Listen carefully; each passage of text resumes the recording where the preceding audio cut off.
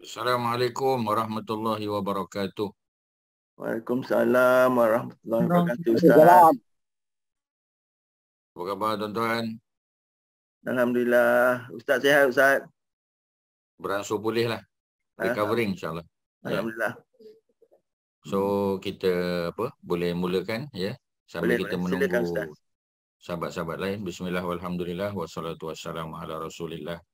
Wa ma taufiqi illa billah subhanaka la ilma lana illa ma 'allamtana innaka antal alimul hakim rabbi shrah li sadri wa yassir li amri wa hlul 'uqdatam min lisani yafqahu qawli wala haula wala quwata illa billahil aliyyil azim. Jadi alhamdulillah malam ni surah Maryam ya sambung ayat yang ke-16. Masuk cerita Maryam ya. Ha, jadi kalau kita tengok surah-surah al-Quran ni memang walaupun ya nama surah tu nama orang tertentu nama Nabi Yunus contoh ya. Ha, tapi dalam surah Yunus ada juga cerita nabi-nabi lain ya. Ha, kalau surah Maryam ya walaupun namanya surah Maryam tidaklah dibuka dengan cerita Maryam ya dibuka dengan cerita bapa ya bapa saudara yang juga merupakan bapa angkat kepada Maryam yakni Nabi Zakaria kerana Nabi Zakaria ada masalah ya dah lama berkahwin tapi tak ada cahaya mata ha, jadi dia berdoa sungguh-sungguh all out ya untuk dapatkan cahaya mata dan akhirnya setelah ya dia diuji dengan kesabaran dan akhirnya Allah bagi ya anak bernama Yahya. Kemudian cerita Nabi Yahya pula ya ha, yang merupakan sepupu lah ya kepada Maryam. Sehinggalah ya masuk ayat yang ke-16 barulah cerita Maryam. Auzubillah minasyaitonirrajim ya kita mula fokus pada ayat 16 wazkur dan sebutlah ataupun ceritakanlah. Ya ha, jadi bila Allah perintah maknanya perintah pada Nabi Muhammad wasallam. Sebab tu perintah wazkur tu perintah untuk singular. Ya, walaupun perintah untuk singular, ya, maknanya kepada Nabi, tetapi seperti mana biasalah, kita sebagai umat Muhammad ya ha, juga bertanggungjawab untuk menyampaikan kepada kepada orang lain. Ya ha, tapi titik tolaknya asal-asalnya perintah Allah kepada nabi sebagai rasul ha, tetapi sebagai rasul nabi ada umat umat dia kita lah maka kita pun tak bertanggungjawab juga jadi Allah suruh Nabi ceritakan ya apa yang ada dalam Alkitab.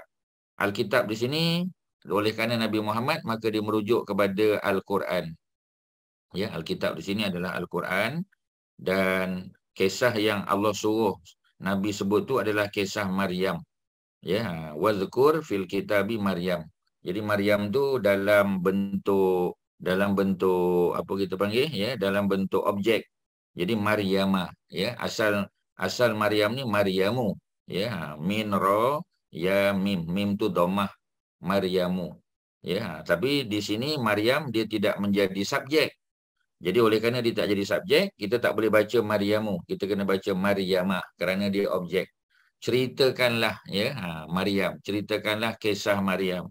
Ceritakanlah hal berkaitan dengan Maryam ya. Ha, jadi Maryam tu jadi objek perbincangan topik perbincangan ya. Ha, dia bukan subjek ya ha, dia objek. Kalau dia subjek dia jadi ya yang membuat yang melakukannya. Jadi yang melakukannya Nabi Muhammad. Ha, jadi yang diceritakan ialah tentang Maryam. Jadi Maryam itu baris dia ya. Dan baris ni menentukan makna tuan-tuan ya. Ha, jadi kita tak boleh saja-saja wazkur fil kitabi Maryamu. Tak boleh Maryamah izin izin tabazat ya izin tabazat is ingatlah ketika mana maknanya benda yang dah berlaku. Sebab Maryam hidup sebelum zaman Nabi sallallahu alaihi wasallam. Jadi maknanya kisah yang berlaku pada Maryam kepada Nabi Isa Nabi Zakaria Nabi Yahya semua benda yang sudah berlaku ya past tense. Ya ha, bukan benda future. Kalau kiamat future syurga neraka future. Ya ha, cerita tentang hari pembalasan tu future. Tapi kalau cerita Maryam ya ha, benda yang sudah berlaku. Izin tabazat ya ketika mana Maryam izin tabazat. Ha, jadi perkataan intabazat tu apa? Tengok makna ya. Intabazat maknanya ketika mana dia mengasingkan diri. Ya ha, jadi Maryam ni telah mengasingkan diri. Ya ha, dia mengasingkan diri untuk beribadat kerana keluarga Maryam ya keluarga Imran.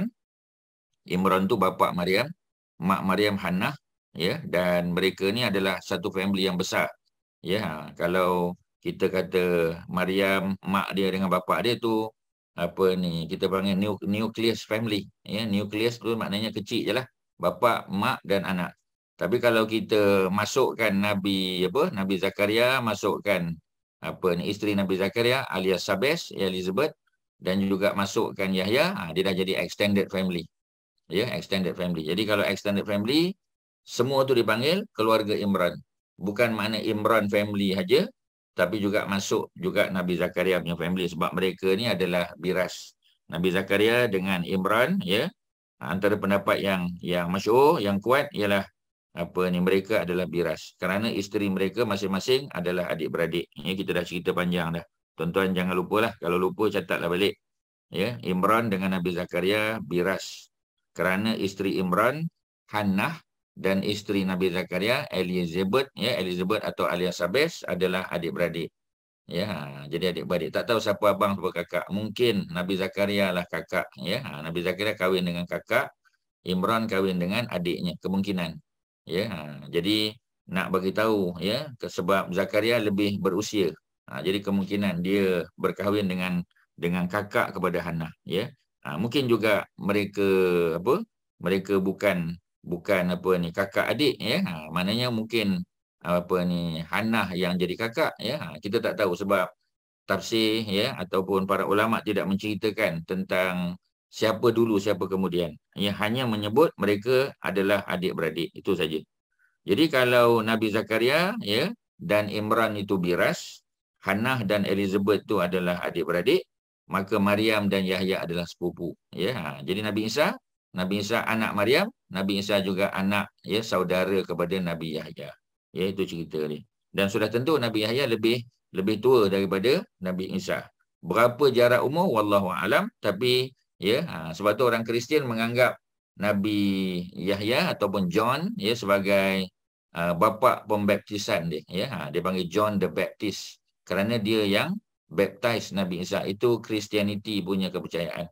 Ya malah kalau kita pergi gereja-gereja besar ya di Palestin ya memang ada dibuat macam gambar lah dilukis ataupun diukir pada pintu ya ha, menggunakan apa ni apa kita panggil ya bahan logam ya ha, tunjuk macam mana Nabi Zakaria eh Nabi Yahya John sedang memandikan Nabi Isa di Sacred River. Ya Sacred River tu adalah Sungai Jordan. Ya ha, memang Sungai Jordan lah yang menjadi fokus ya kepada orang-orang Kristian. Ya ha, kalau di Mesir kita ada Nile River. Ya itu cerita Nabi Isa eh Nabi Musa mak dia cerita Firaun. Ya ha, tapi kalau di Palestin ya di negeri Syam memang cerita Sungai Jordan pula ya ha, Sungai Jordan adalah apa ni natural border yang memisahkan antara Palestin dan Jordan. Jordan di sebelah sebelah apa sebelah east ya ha, dan Palestin di sebelah west. Sebab tu Palestin ya tempat di Palestin tu dipanggil apa ya ha, dipanggil tebing barat. Ya dipanggil tebing barat sebab dia berada di barat sungai Jordan. Sedangkan ya Jordan berada di sebelah timur. Ya jadi maknanya dia ada dipanggil West Bank di West Bank West Bank tu ialah kawasan Palestin lah yang ada Al-Masjidil Aqsa ya ha, dipanggil West Bank sebab dia adalah tebing barat kepada Sungai Jordan. Sungai Jordan duduk tengah-tengah. Ya, kalau Jordan dia tebing tebing apa? Tebing timur. Ya, jadi Palestin kita panggil West Bank, tapi Jordan kita tak panggil East Bank, tapi dari segi hakikat dia adalah East Bank. Ya, sebab dia ada nama Jordan so kita tak panggil lah, ya. Okey, jadi apa ceritanya? Ceritanya ialah keluarga mereka ada tempat ibadah yang dipanggil Mihrab. Ya, Mihrab Imran ataupun Mihrab Ali Imran, ya. Ha, mihrab mana tempat ibadah. Jadi apa yang dibuat oleh apa ni Maryam ya? Maryam apa dia buatnya? Maryam dia mengasingkan diri beribadah. Mengasingkan diri ni untuk beribadah. Ya, ha, izin tabazat ketika mana Maryam itu telah mengasingkan diri min ahliha daripada keluarganya. Ya, ha, maknanya ya dia ada tempat khusus pula. Ya, bersendirian ya membaca kitab Taurat, ya beribadah, ya berzikir, dan seumpamanya. Sebab dia memang terkenal sebagai seorang perempuan ahli ibadah Maryam ni ya. Makanan syarqian ha, jadi dia telah membuat satu tempat untuk ibadahnya di Masjid Aqsa di sebelah timur Masjid Aqsa di sebelah timur. Ya jadi kalau kita masuk ke Masjid Aqsa kita akan tengok ada satu tempat di timur Masjid Aqsa ya. Ha, di timur Masjid Aqsa sebab Masjid Aqsa duduk di utara. Ya jadi boleh kerana Masjid Masjid Aqsa duduk di utara dia menghadap ke selatan Mekah di selatan. Jadi bila kita solat di Jordan di Palestin kita akan solat menghadap ke selatan kiblatnya di selatan. Macam kita di Malaysia ya kiblat kita di sebelah barat sebab kita duduk di timur ya. Ha, jadi uh, kita punya kiblat ke sebelah barat tetapi kalau kita duduk di utara Mekah, ya Madinah contoh, ya ha, Jordan, Palestin, ya Turki. Ha, jadi secara umum, ya mereka punya apa ni kiblat adalah ke arah selatan.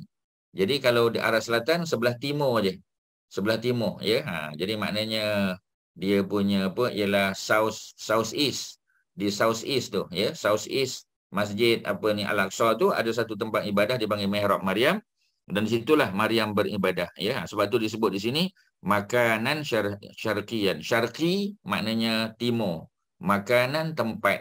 Ha, jadi Maryam beribadah di situ memang betul. Lokasi itu masih ada sampai sekarang ya. Ha, dan dia boleh kita ziarah boleh kita lawat. Cuma dia tutup lah ya. Dia pagar tempat tu. Tapi kita boleh tengok boleh tengok daripada ya boleh boleh pegang pagar tu. Kita boleh tengok tempat dia beribadah tu ya. Ha, jadi Ah, masih ada sampai sekarang. Tidak dibongkar ya tidak dimusnahkan.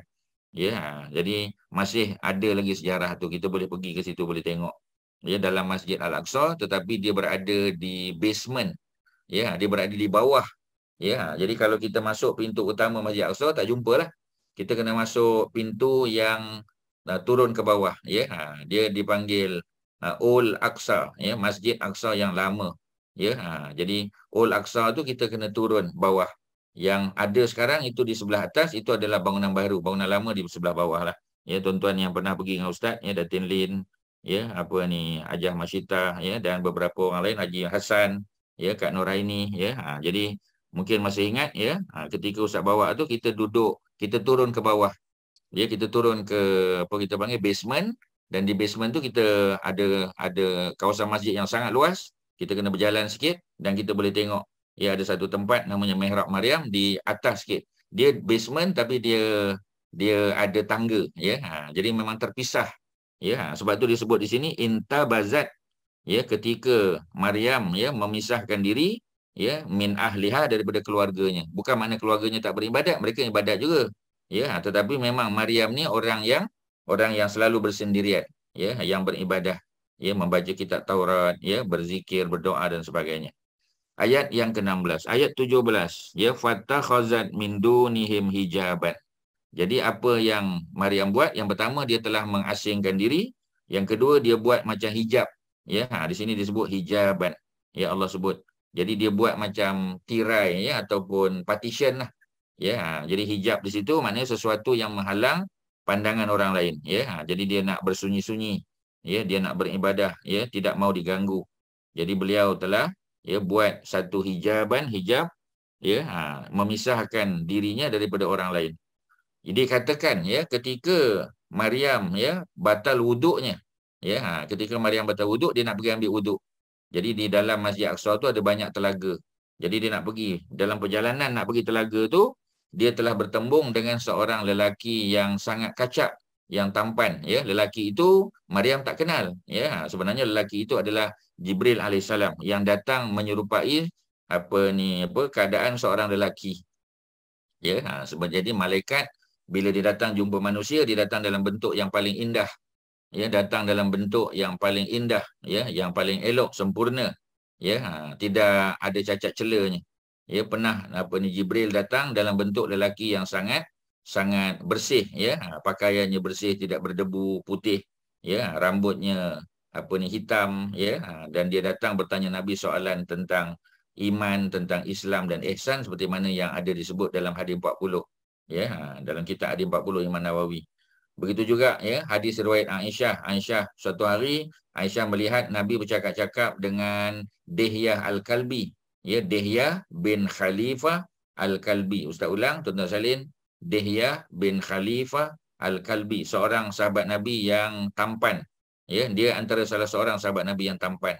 Jadi beliau ya, apa ni dilihat oleh Aisyah sedang bercakap-cakap dengan Nabi. Ya, ha, di satu tempat ya, Aisyah duduk dalam rumah lah.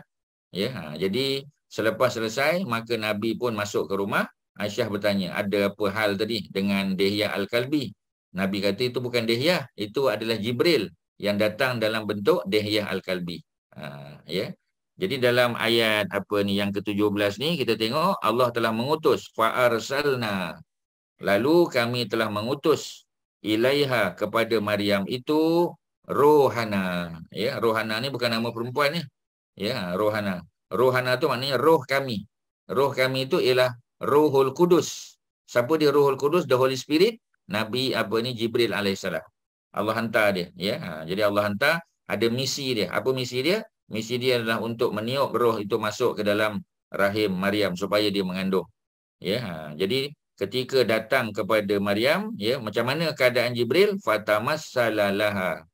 Ya, Jibril telah tamas salalaha. Maknanya dia menyerupai dia datang dalam bentuk ya uh, basyaran manusia sawiyan ya uh, manusia yang sempurna ya manusia yang elok pada serupa dia sebab itu bila jibril malaikat dia datang bertemu dengan manusia nabi-nabi dan rasul ya uh, orang-orang beriman termasuk dalam maryam dia datang dalam bentuk yang sangat indah ya sangat handsome ya sangat bersih.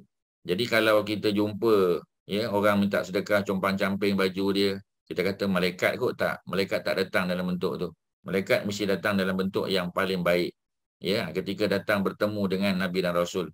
Melainkan ya dia datang dalam bentuk asal. Bentuk asal pun ya masih ya indah sempurna. Kita tak tahu macam mana keadaan dia. Tetapi itulah ya keadaan ketika nabi sallallahu alaihi wasallam bertemu kali pertama dengan jibril. Ya bukan maknanya rupa dia hodoh rupanya menakutkan. Tidak ya. Tapi kerana kali pertama jumpa dan saiz tubuhnya besar menyebabkan Nabi menggigil ya agak ketakutan sebab kali pertama bertemu. Ya tak pernah jumpa makhluk yang yang apa ni yang lain dengan manusia pada masa itu okey ya jadi uh, perkataan tamassalaha ya merujuk kepada uh, keadaan dia. Maknanya dia datang dalam bentuk dalam bentuk manusia ya. Uh, di mana perkataan manusia? Basyaron. Basyaron tu manusia sawian yang sempurna. Ya kalau berjalan berjalan tegak. Ya maknanya bukan mengesut bukan merangkak mengiring bukan. Ya dia datang dalam keadaan sawiyan dalam keadaan tegak elok berjalan elok. Ya ha, sebab macam manusia yang berjalan di atas titian sirat. Ya seperti mana kita dah pernah baca dulu surah al-muluk. Tuan-tuan boleh tengok suratul muluk surah 67 tuan-tuan yang sudah membaca surah suratul muluk tadi mungkin lepas isyak dah baca kan? Ya jadi kalau tuan-tuan dah baca tuan-tuan akan melalui satu ayat ya dalam surah ya al-muluk. Apa ayat dia ya? Ayat yang ke mana ya? Kejap saya tengok. Jadi ayat yang ke 20 berapa tu? Cerita tentang tentang apa? Tentang bagaimana manusia yang berjalan di atas titian sirat. Ya jadi bila berjalan di atas titian sirat dia berjalan dengan keadaan yang tegak elok. Ya ayat yang ke 22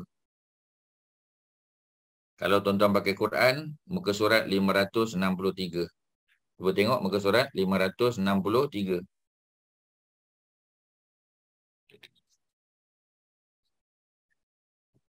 Boleh jumpa? Ayat 22 surat Tumuluk. Jumpa? Jumpa Ustaz. Okey, eh? ayat 22. Afamai yamshi mukibban. Baca ayat tu. Ya, yeah? ha, kita baca dah. Tadi lepas isyak kita dah baca dah. Ya. Yeah? afaman yamshi mukiban a adakah ya faman maka ya sesiapa ya seseorang yang yamshi yang berjalan mukiban ala wajhihi yang dia terbalik ya. Ha, maknanya wajahnya menjadi kaki kakinya duduk di atas. Ya ini keadaan manusia ketika melalui titian sirat ya siratal mustaqim ya. Ha, jadi dia lalu titian sirat ya. Titian sirat ni berada di atas neraka ya. Siapa yang berjaya mudah-mudahan ya dia lepas dia masuk dalam syurga. Siapa yang tergelincir masa masuklah ia ke dalam neraka ya. Wal iazubillah jadi ketika seseorang itu berjalan ya ha, dan ada dua jenis manusia. Yang pertama ialah yang yamshi mukibban ala wajhihi ya yang berjalan tertongging dia berjalan kaki di bawah ya ha, jadi kaki di bawah ya dan dia punya wajah apa ni wajah di bawah maaf wajah di bawah ya kepala di bawah kaki di atas tertungkup dia ya tertelungkup dia. Jadi kakinya di atas wajahnya di bawah. Wajahnya jadi kaki pula ahda lebih mendapat hidayah ya lebih mendapat petunjuk. Amman ataupun orang yang yamshi yang berjalan sawi yang tegak ala siratim mustaqim. Ya ha, yang mana lebih elok yang mana lebih mendapat petunjuk ya daripada Allah. Sama ada orang yang berjalan tegak elok ataupun orang yang berjalan menggunakan muka. Ha, jadi jawapannya sudah sudah apa kita panggil sudah terang lagi bersuluh lah ya ha, jadi maknanya it goes without saying ya tak perlu kita detailkan dah tentulah orang yang berjalan tegak. Jadi ada perkataan sawiyan dekat situ ya. Ha, kalau kita tengok terjemahan ya orang yang berjalan ya. Ha, jadi orang yang berjalan tegak di atas jalan yang lurus ya. Ha, jadi makna pasal apa disebut jalan tegak? Sebab kalau orang tu sihat dia jalan tegak ya. Ha, kalau dia dia bermasalah sakit dia bongkok bongkoklah jalan dia Ya, kalau sakit kaki mungkin perlahan jalan dia tak tak boleh nak tegak sebab nak menahan kaki tu sakit contoh ya. Ha, tapi kalau dia sihat dia berjalan elok tegak. Ya, begitulah juga keadaan keadaan apa? Keadaan Jibril alaihissalam ketika datang jumpa dengan Maryam dalam keadaan tegak berdiri elok sempurna. Ha, jadi maknanya tu perempuan ya. Ada soalan? Silakan kalau ada tak faham tentang perkataan sawiyan. Kalau ada ada apa? Ajar Zainab ada apa? Ya kalau ada. Tak, uh, maknanya Malaikat Jibril tu berjumpa dengan Maryam bukan dalam mihrab ya? Bukan, ya. Dikatakan dia sebab mihrab tu memang mihrab dia khusus. Ya, dikatakan ketika apa Zainab nak ambil wuduk sebab wuduknya batal, bila nak ambil wuduk, ya, airnya pula air yang dia bawa tu dah habis. Ha, jadi dia kena pergi ke telaga. Telaga tu dalam Masjid Aqsa juga. Ya, ha, jadi dalam perjalanan tu lah ya dia bertembung dengan dengan apa ni lelaki yang handsome tadi ya. Itu antara apa ni riwayat yang diterima lah ya. Detail kita tak tahu sebab yalah tak ada dokumentasi. Quran tak cerita secara detail maka para ulama biasa akan melihat sumber daripada Israeliat ya sumber daripada ahli kitab ya dan kemudian mereka tapis ya ha, dan mereka nilai mengikut nilaian syarak dan nilaian logik akal ya ha, dan kemudian dia come up lah dengan satu pandangan ya. Ha, tapi betul atau tidak secara pasti itu hanya Allah yang tahu. Ya dikatakan begitu ya. Bukan dalam mihrab bukan. Okey ada lain? Silakan. Ada apa? Ya. Jadi sebelah mana tadi? Ya sebelah timur ya. Tempat. Timur tu maknanya uh, south east ya. Ha, jadi sebelah sebelah selatan tapi di sebelah timur. Maknanya dekat dengan tempat solat mihrab ya. Tempat apa ni? Imam ya imam masjid al-aqsa mengimamkan solat tu. Maknanya di tempat yang paling paling ke tepi sekali paling dekat dengan tembok. Ya tembok. Maknanya yang terakhir lah ya. Mana kalau kita tengok lagi lepas tembok tu dah jurang bawah.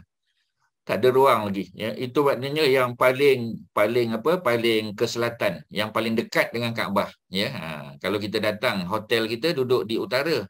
Jadi daripada utara kita akan pergi ke selatan kita masuk masjid ya hujung sekali di selatan. Ya ha, the furthermost ya furthermost south. Ya furthermost south tu adalah apa ni Masjid Al-Aqsa. Tempat imam ya yang ada yang ada kubah hitam bukan kubah kuning ya. Kubah kuning golden golden dome tu duduk di tengah di atas bukit. Ini yang di sebelah bawah sana. Ya ha, jadi uh, se apa, selari dengan tempat imam solat tu ada mihrab Maryam. Ya tempat dia ber, beribadah Cuma perigi berada di luar lah, luar mihrab, tak ada dalam mihrab. Dia bawa air tapi airnya sudah habis, ya, maka dia kena pergi. Masa itulah dia bertembung tadi. Dikatakan macam tu. Okey, ya, perkataan basyaran sawiyan. Basyaran makna basyar makna manusia. Basyar, ya. Ha. Sebab itu Nabi Muhammad wasallam digelar sebagai Sayyidul Bashar. Sayyid, Sayyid mana penghulu, Bashar, Bashar adalah manusia, ya. Ha. Sayyidul Bashar. Nabi tu ya. Khairul anam sebaik-baik makhluk. Kalau anam makhluk. Kalau bashar manusia sahaja. Mana jin tak masuk binatang tak masuk ya. Malaikat pun tak masuk. Tapi kalau anam anam merujuk kepada semua makhluk. Termasuklah malaikat. Jadi nabi sayyidul bashar dan nabi juga khairul anam. Khairul ya. Khairul anam ya. Maknanya nabi yang manusia apa makhluk yang terbaik. Ya itu dia punya apa kita panggil? Itu dia punya istilah ya yang di digelar Nabi ni sallallahu alaihi wasallam. Okey, tuan-tuan ya, ada apa yang boleh saya bantu setakat ni? Kalau ada yang tertinggal maklumat ya, boleh tanya dulu sebelum kita masuk ke ayat yang lain Ya sebab nanti kalau kita dah jauh nanti nak ulang balik dia bukan tak boleh lah ya. Ha, tapi nak kena U-turn jauh. Silakan ada apa? Ada apa setakat ni? Ada apa?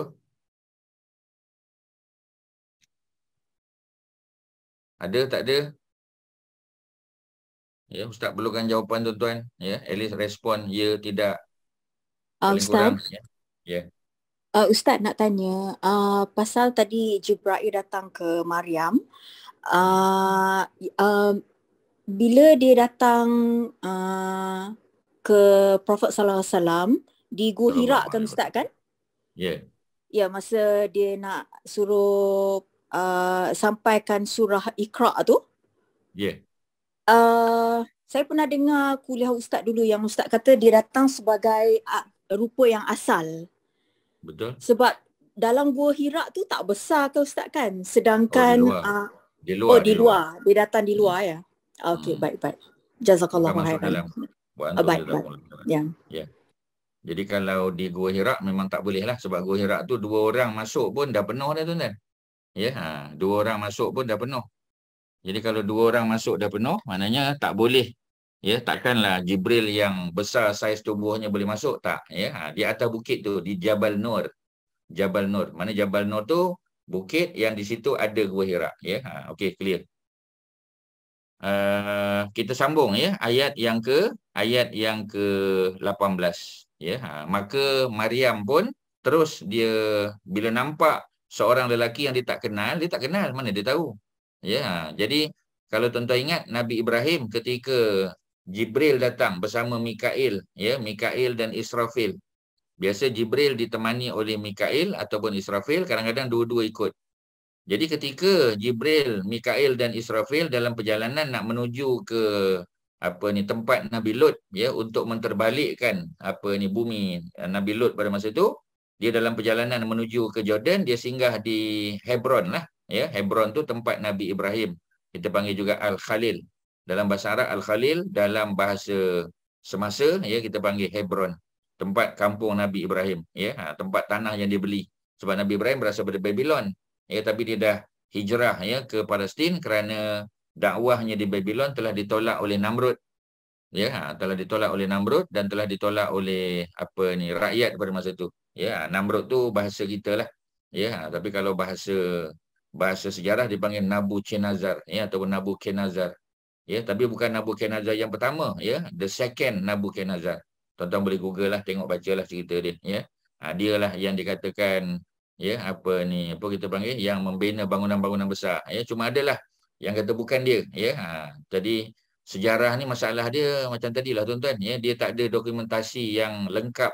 Kadang-kadang ada tulisan-tulisan ya di apa di gua ya ataupun ada dia panggil batu bersurat ya. Ha, macam itulah bentuk-bentuk tablet macam tu kan ya. Tapi macam tadilah kadang-kadang uh, apa ni true times ya setelah ribuan tahun kadang-kadang dia dah faded ya. Jadi tak boleh nak ya. Kadang-kadang titik ke dia punya tanda tu dah dah macam macam itulah ya sebab ditulis di atas batu walaupun atas batu tu keras kan tapi setelah banyak tahun terdedah pada cuaca, perubahan cuaca, sejuk, panas, ada snow dan sebagainya, maka kadang-kadang tak boleh nak tahu secara pasti.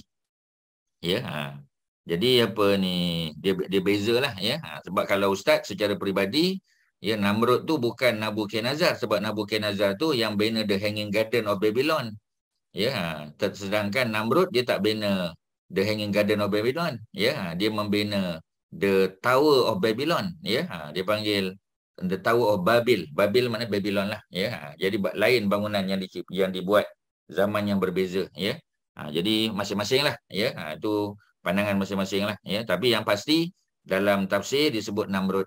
Ya. Yang berlawan dengan Nabi Ibrahim yang menjatuhkan hukuman bakar adalah Namrud. Ya. Ha, itu yang lebih lebih mudah kita faham. Ya. Sama ada adakah dia Nabucodonosor ataupun tidak, itu cerita lain lah. Ya. Ha, tapi yang pasti Nabucodonosor ya itu zaman the hanging garden of babylon kalau ustaz orang lain lah ya dia orang yang berbeza okey tak apa ya itu sekadar nak bagi maklumat tambahan kepada tuan-tuan jadi apa ni qalat inni a'udzu birrahman ya ha, maka berkatalah maryam maryam kata ini sesungguhnya aku A'udzu birrahman. Aku minta lindung kepada Allah yang sifatnya Maha Rahman. Ya, minka daripadamu, ya, daripada lelaki tadi. In kunta taqiyah. Jadi kalau engkau orang yang bertakwa, ha, pergi keluar daripada sini. Ini tempat private, ya, ha, private place untuk family kami. Untuk Imran punya family, ya, tempat ibadah orang perempuan ni. Ya, orang lelaki tak boleh masuk. Ha, jadi sebab Maryam tak kenal dia. Ya, jadi Maryam suruh dia keluar daripada tempat tu. Sebab Maryam seorang wanita yang sangat sangat menjaga penampilan dan sangat menjaga ya hubungan dia dengan masyarakat. Jadi ayat yang ke uh, sambung lagi ya, ayat yang ke-19. Qala berkata Jibril innama hanya senya ana rasulu rabbika. Aku ini kata Jibril ya adalah adalah rasul, adalah utusan. Ha, jangan kita kata nanti oh rasul ya. Ha, jadi Rasul macam mana pula Rasul? Ya, jadi sebenarnya malaikat juga adalah Rasul tuan-tuan. Malaikat adalah Rasul. Ya, dia diutus oleh Allah Subhanahu Wa Taala untuk bawa Quran contoh, untuk bertemu dengan dengan nabi-nabi dan Rasul. Ya, ha, dia yang bawa Taurat, dia yang bawa Injil, ya, dia yang bawa kitab-kitab tu. Dan dia juga yang membawa wahyu secara umum. Ya, ada perkhabaran-perkhabaran penting maka Jibril yang datang. Jadi Jibril itu adalah Rasul ya apa makna rasul? Utusan messenger. Ya ha, jadi adakah uh, malaikat tu messenger? Ya adakah nabi-nabi dan rasul juga adalah messenger? Ya betul sama. Ya ha, jadi Maryam ya ha, tak tahu. Jadi dia pun minta lindung daripada Allah yang Maha Rahman ya supaya dia tidak diganggu oleh lelaki tadi sebab dia tak kenal. Maka lelaki tadi terus menjawab qala ya kata Jibril innama hanya senya ana rasulu rabbika aku adalah utusan Tuhanmu ya Rabbiki sorry. Ya Rabbiki sebab eh, Maryam tu perempuan jadi Rabbiki ya. Kalau Rabbika lelaki. Rasulul Rabbiki. Aku adalah seorang utusan ya messenger daripada Tuhanmu wahai Maryam.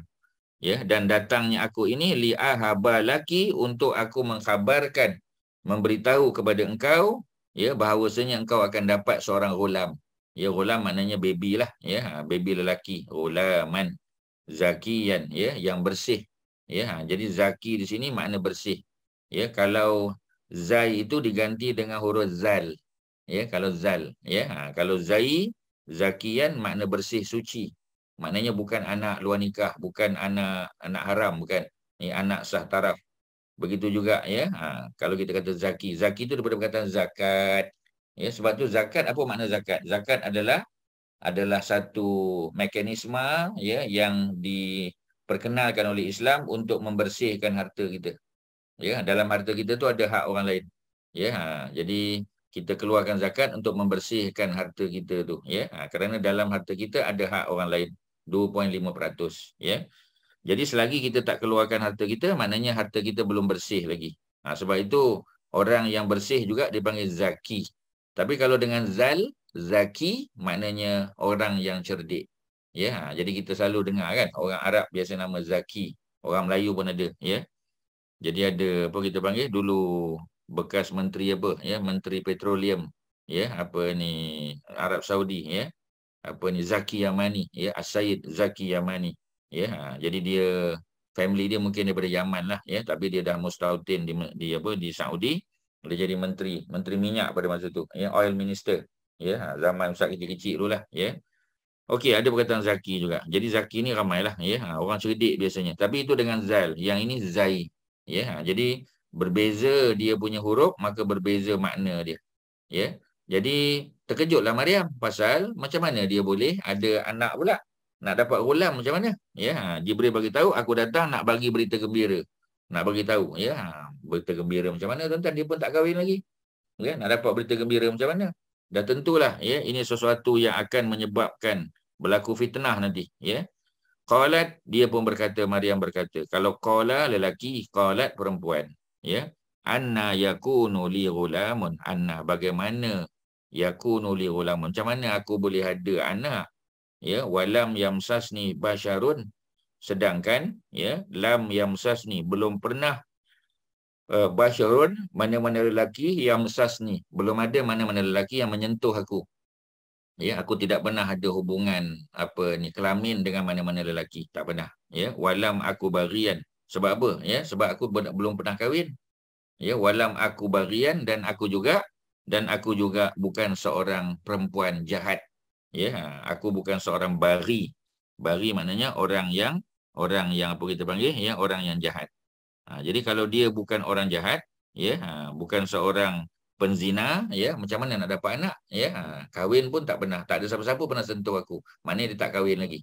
Ya, ha, usianya pun dikatakan sekitar sekitar 15 tahun. Maknanya sudah akhir balik, ya, dan dia tidak ada ayah dan mak tak ada. Ya, dia baru diambil sebagai anak angkat oleh Nabi apa? Nabi Zakaria dan isterinya Elizabeth. Ya, sebab Nabi Zakaria dan Elizabeth tak ada anak. Ya, maka ketika Maryam kehilangan mak dan ayahnya, ayahnya sudah meninggal masa di dalam kandungan mak dia. Macam kes Nabi Muhammad juga, ya sallallahu alaihi wasallam sama. Jadi dia apa? Dia tidak ada apa? Ya, dia tidak ada sesiapa lagi untuk menjaga dia. Maka masyarakat Bani Israel ya di apa di Palestin pada ketika itu, di Jerusalem terutamanya, ya. Ha. Jadi berebutlah nak ambil Maryam sebagai anak angkat sebab dia budak baik. Ya, dia geng masjid, ya. Ha, maka akhirnya apa yang berlaku? Mereka buat undian panjang ya. Kalau kita tengok dalam kitab Stories of the Prophet ya, Qasas Al-Anbiya yang kita baca pada hari Rabu.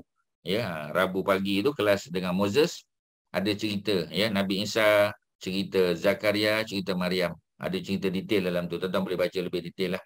Ya, jadi kita belum sampai ke situ lagi. Kita baru sampai Nabi Ibrahim ya, belum habis lagi. Ya Nabi apa? Nabi Nabi Ibrahim ya. Ha, Nabi Ibrahim masih Nabi Ibrahim lagi. Okey ya itu cerita dia. Jadi nak bagi tahu bahawasanya Maryam ya Maryam tidak pernah disentuh oleh mana-mana lelaki. Belum pernah berkahwin. Dan dia bukan seorang penzina. Macam mana dia boleh dapat anak? Ya ha, jadi kata apa? Kata Jibril alaihissalam ayat 21 qala kata Jibril kazalika qala rabbuki huwa alayya hayyinun kata Jibril yang demikian itu ya ha, qala rabbuki Tuhanmu berfirman kuwa perkara tersebut. Maknanya untuk menjadikan seorang perempuan itu ya dia mengandung ya walaupun tidak berkahwin adalah amran ya adalah apa? Adalah alayya hayyinun adalah suatu benda yang hayyinun suatu benda yang very easy very simple. Benda tu boleh buat. Ya lebih pada tu pun Allah boleh buat. Ini kan pula sekadar nak menyebabkan seseorang perempuan tu mengandung. Walaupun bukan melalui perkahwinan. Ya ha, boleh. Jadi perkara apa ni fokus pada ayat tersebut ialah perkataan hayyinun. Ya ha, hayyinun ni maknanya senang. Bukan suatu yang susah ya. Ha, jadi dia apa? Dia tak pernah kahwin tidak ada masalah ya. Tetapi benda tu adalah sesuatu yang suatu hal yang sangat apa apa kita panggil? Sangat mudah. Ya ha, sangat mudah untuk untuk dibuat oleh Allah Subhanahu Wa Taala. Ya huwa perkara tersebut ya alayya ke atas aku kata Allah adalah hayyinun sangat mudah sangat senang. Walinaj'alahu ayatan linnas dan ya linaj'ala li supaya naj'alahu kami jadikan ia.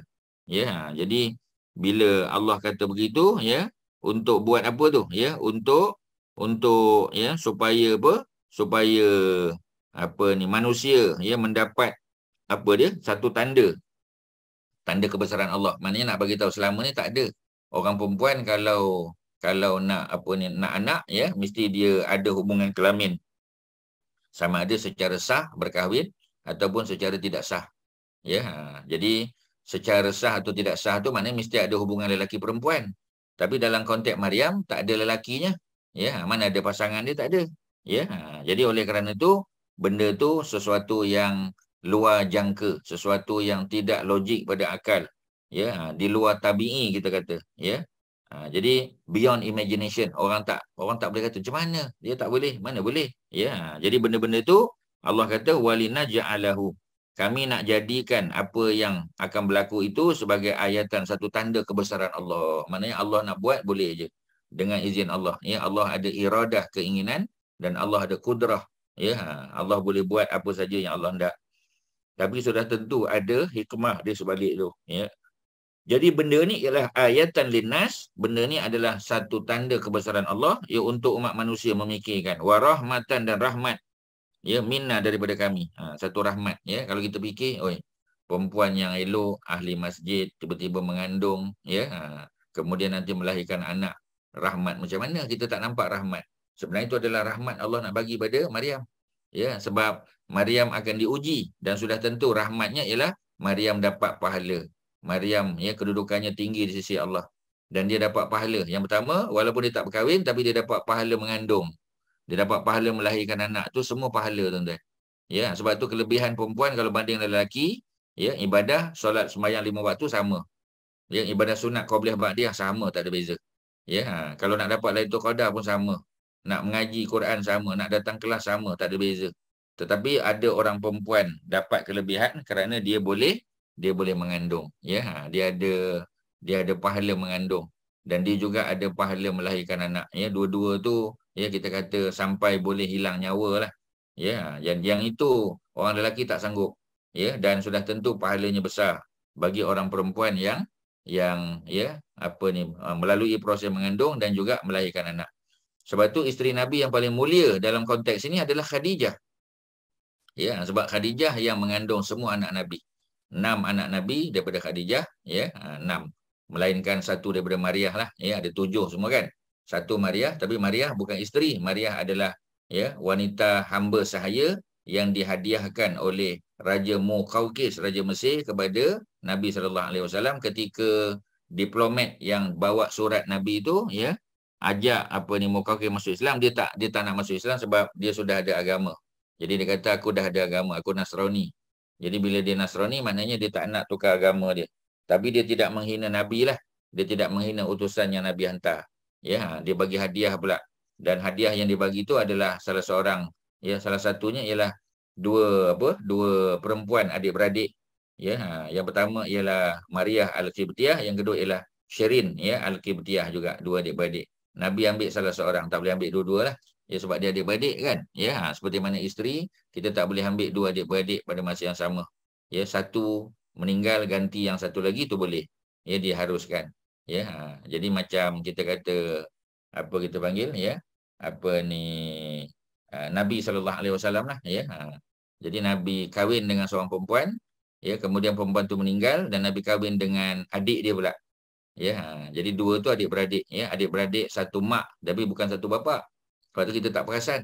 Ya, ha. jadi apa ni Nabi punya apa? Nabi punya isteri ya, ha. seorang kemudian setelah ya Nabi bercerai dengan dia, bercerai itu bercerai bercerai matilah.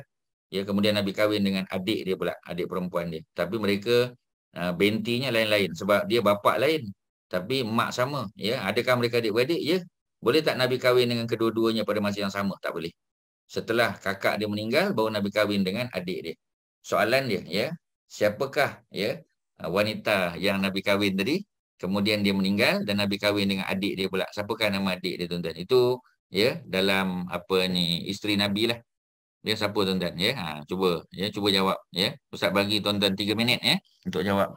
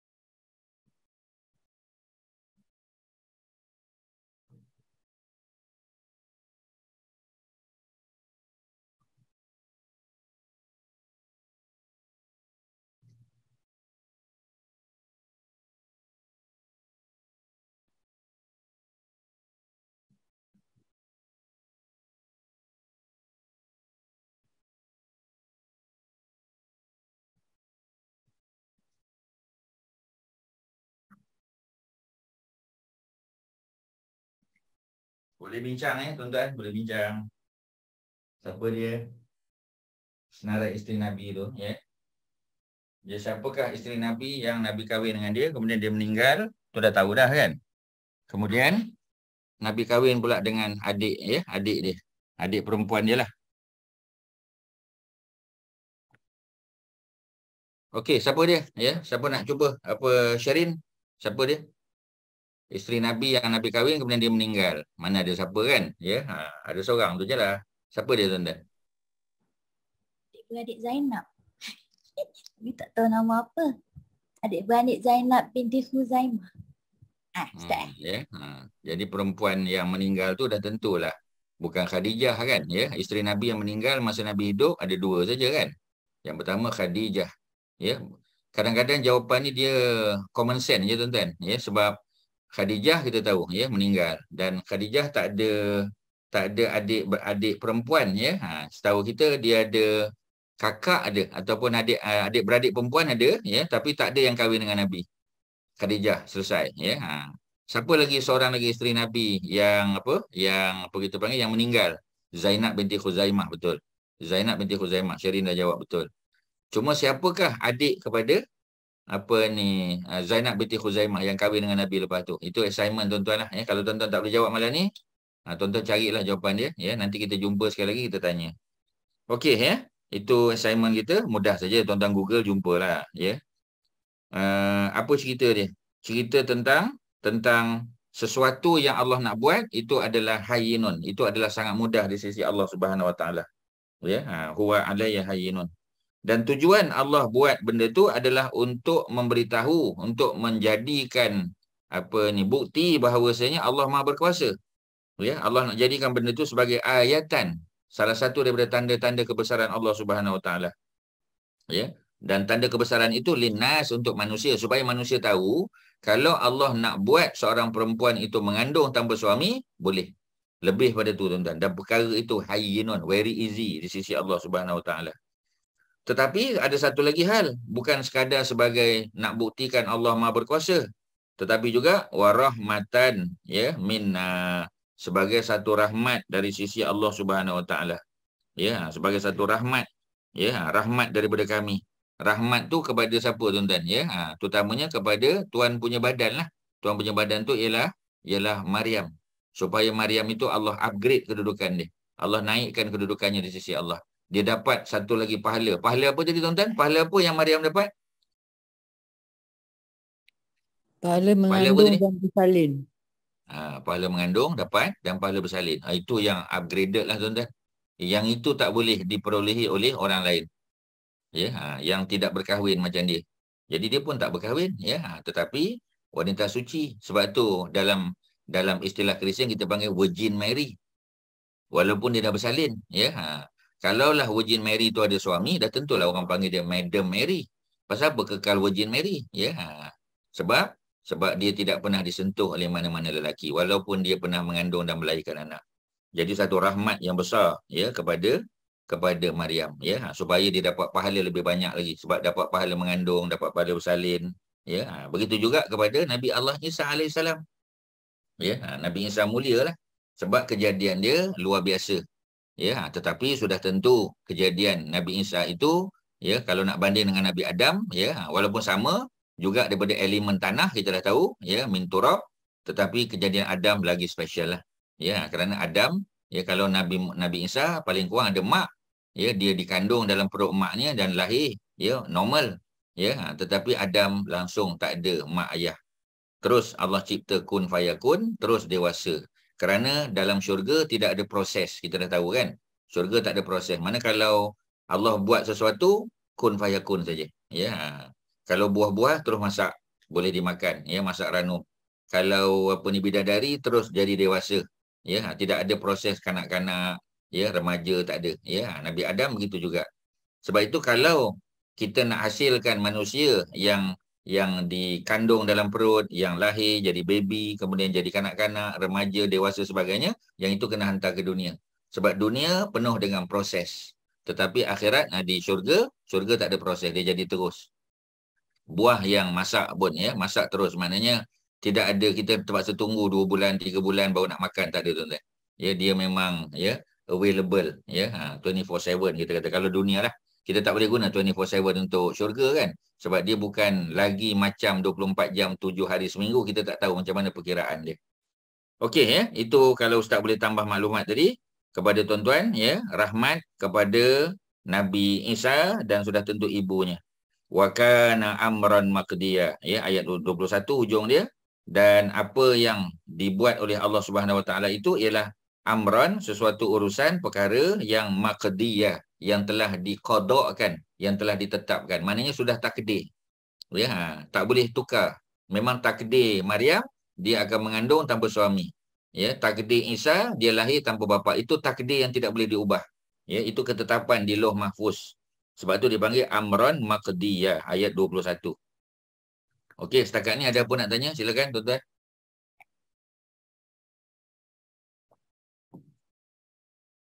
Ada apa? Ya. Kak Mariatun ada apa? Ya, Haji Zainab. Ya, Haji Mak Syah ada apa? Silakan. Kalau salam, tak maaf lah. Sebab adakah cerita ini ada dalam Injil? Sebab orang Kristian kata Maryam hmm. tu anak Tuhan kan? Eh, Isa tu anak Tuhan. Ya. Yeah. Yalah, itu kata orang Kristian lah kan. Ya. Ha tapi Kristian Katolik lah ya. Ha, sebab dia percaya pada Trinity kan. Tapi kalau Kristian Ortodok ya dia percaya Nabi Isa tu sebagai messenger of God. Sebab tu Ortodok dia lebih dia dia closer ya much closer to Islam. Sebab tu ya ramai Kristian yang masuk tu kebanyakan mereka Ortodok ya ha, mereka ni Ortodok kebanyakannya ya. Ha, kerana mereka juga percaya Allah itu esa Allah tak ada anak Allah tak ada isteri ya. Sebab Allah tu kul huwallahu ahad ya. Ha, tapi kalau Katolik ya ha, mereka masih ya Protestan pun ya mereka masih lagi menganggap bahawasanya Nabi Isa tu anak Tuhan son of God. Ya ha, Maryam tu adalah wanita special isteri Tuhan. Jadi kalau kalau apa semua Kristian macam tu ya ha, sama lah tak. Ya ortodok tak. Ortodok tidak menganggap ya apa ni dia tidak sembah Isa dan Maryam. Ya mereka muliakan Isa sebagai seorang messenger. Mereka muliakan Maryam sebagai wanita suci yang mengandung dan melahirkan Isa, tapi tidaklah sampai ke peringkat mereka itu adalah isteri dan anak Tuhan tidak. Ya, ha, jadi bukan semua Kristian macam tu. Okey, ada lain? Silakan. Ada apa? Haji Masyah ada apa? Tuan-tuan, malam ni slow tuan-tuan. Ya, tak ada respon.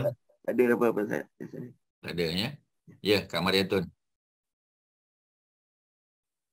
Macam nak tanya soalan, ya dia dah dia dah apa dia dah unmute tu ya. Okey dia mute kan balik. Ya tuan-tuan ustaz boleh tengok kat sini lah ya. Ha, tuan-tuan yang lain silakan. Ada apa ya? Kak apa ni apa? Kak Masyitah ada apa ya? Ha, kak siapa lagi? Mazilah ya? Kalau ada silakan. Mazidah ya? Ada apa? Lama tak dengar suara kak Mazidah ni ya? Dazlia ya? Ha. Kak Mas ada apa Kak Mas malam ni tuan-tuan ya boleh boleh faham ke kita punya perbincangan ni? Ya susah-susah ayat dia dia direct je tuan-tuan ya. Dia tidak susah sangat ya. Cuma adalah beberapa perkara yang perlu kita detailkan tu jelah kalau tak ada terus saja ya. Apa dia ceritanya? Fahamalat hu. Lalu ya Maryam pun mengandungkan. Maknanya sebaik saja dia tiup roh fahamalat hu. Lalu Maryam pun mengandungkannya. Nya tu ialah Nabi Isa Maknanya confirm ya anak Maryam tu adalah lelaki. Ya, ha, itu ya daripada awal-awal lagi. Ya, ha, tu ayat yang ke-19 lagi. Kalau orang tanya kita, adakah Maryam tahu anak yang dikandung tu adalah lelaki? Ya, daripada ayat 19. Li'ahaba laki, aku nak bagi tahu kepada engkau, Maryam, engkau akan dapat anak gulaman, seorang anak lelaki, gulaman. Ya, ha, gulaman anak lelaki, zakian yang bersih suci. Mana dia dah tahu anak lelaki dah. Seperti mana Nabi Zakaria telah tahu dia akan dapat anak lelaki juga yang namanya dah siap bagi dah Yahya. Ya. Jadi apabila dia mengandung fantabazat bihi makanan qasiya. Ha, perkataan intabazat sekali lagi kita jumpa. Tadi kita jumpa pada ayat yang ke-16. Tuan-tuan boleh bulatkan perkataan intabazat. Ya, intabazat maknanya dia mengasingkan diri. Ya, itu ketika dia berada dalam Masjid Al-Aqsa, ya, Al-Masjidil Aqsa tempat dia beribadah ya sehingga akhirnya dia bertemu dengan Jibril lah. Ya dan Jibril datang dalam bentuk manusia tidak dalam bentuk asal. Ya kalau Nabi Muhammad sallallahu alaihi wasallam pun ya dalam keadaan ketakutan menggeletar bertemu Jibril ya.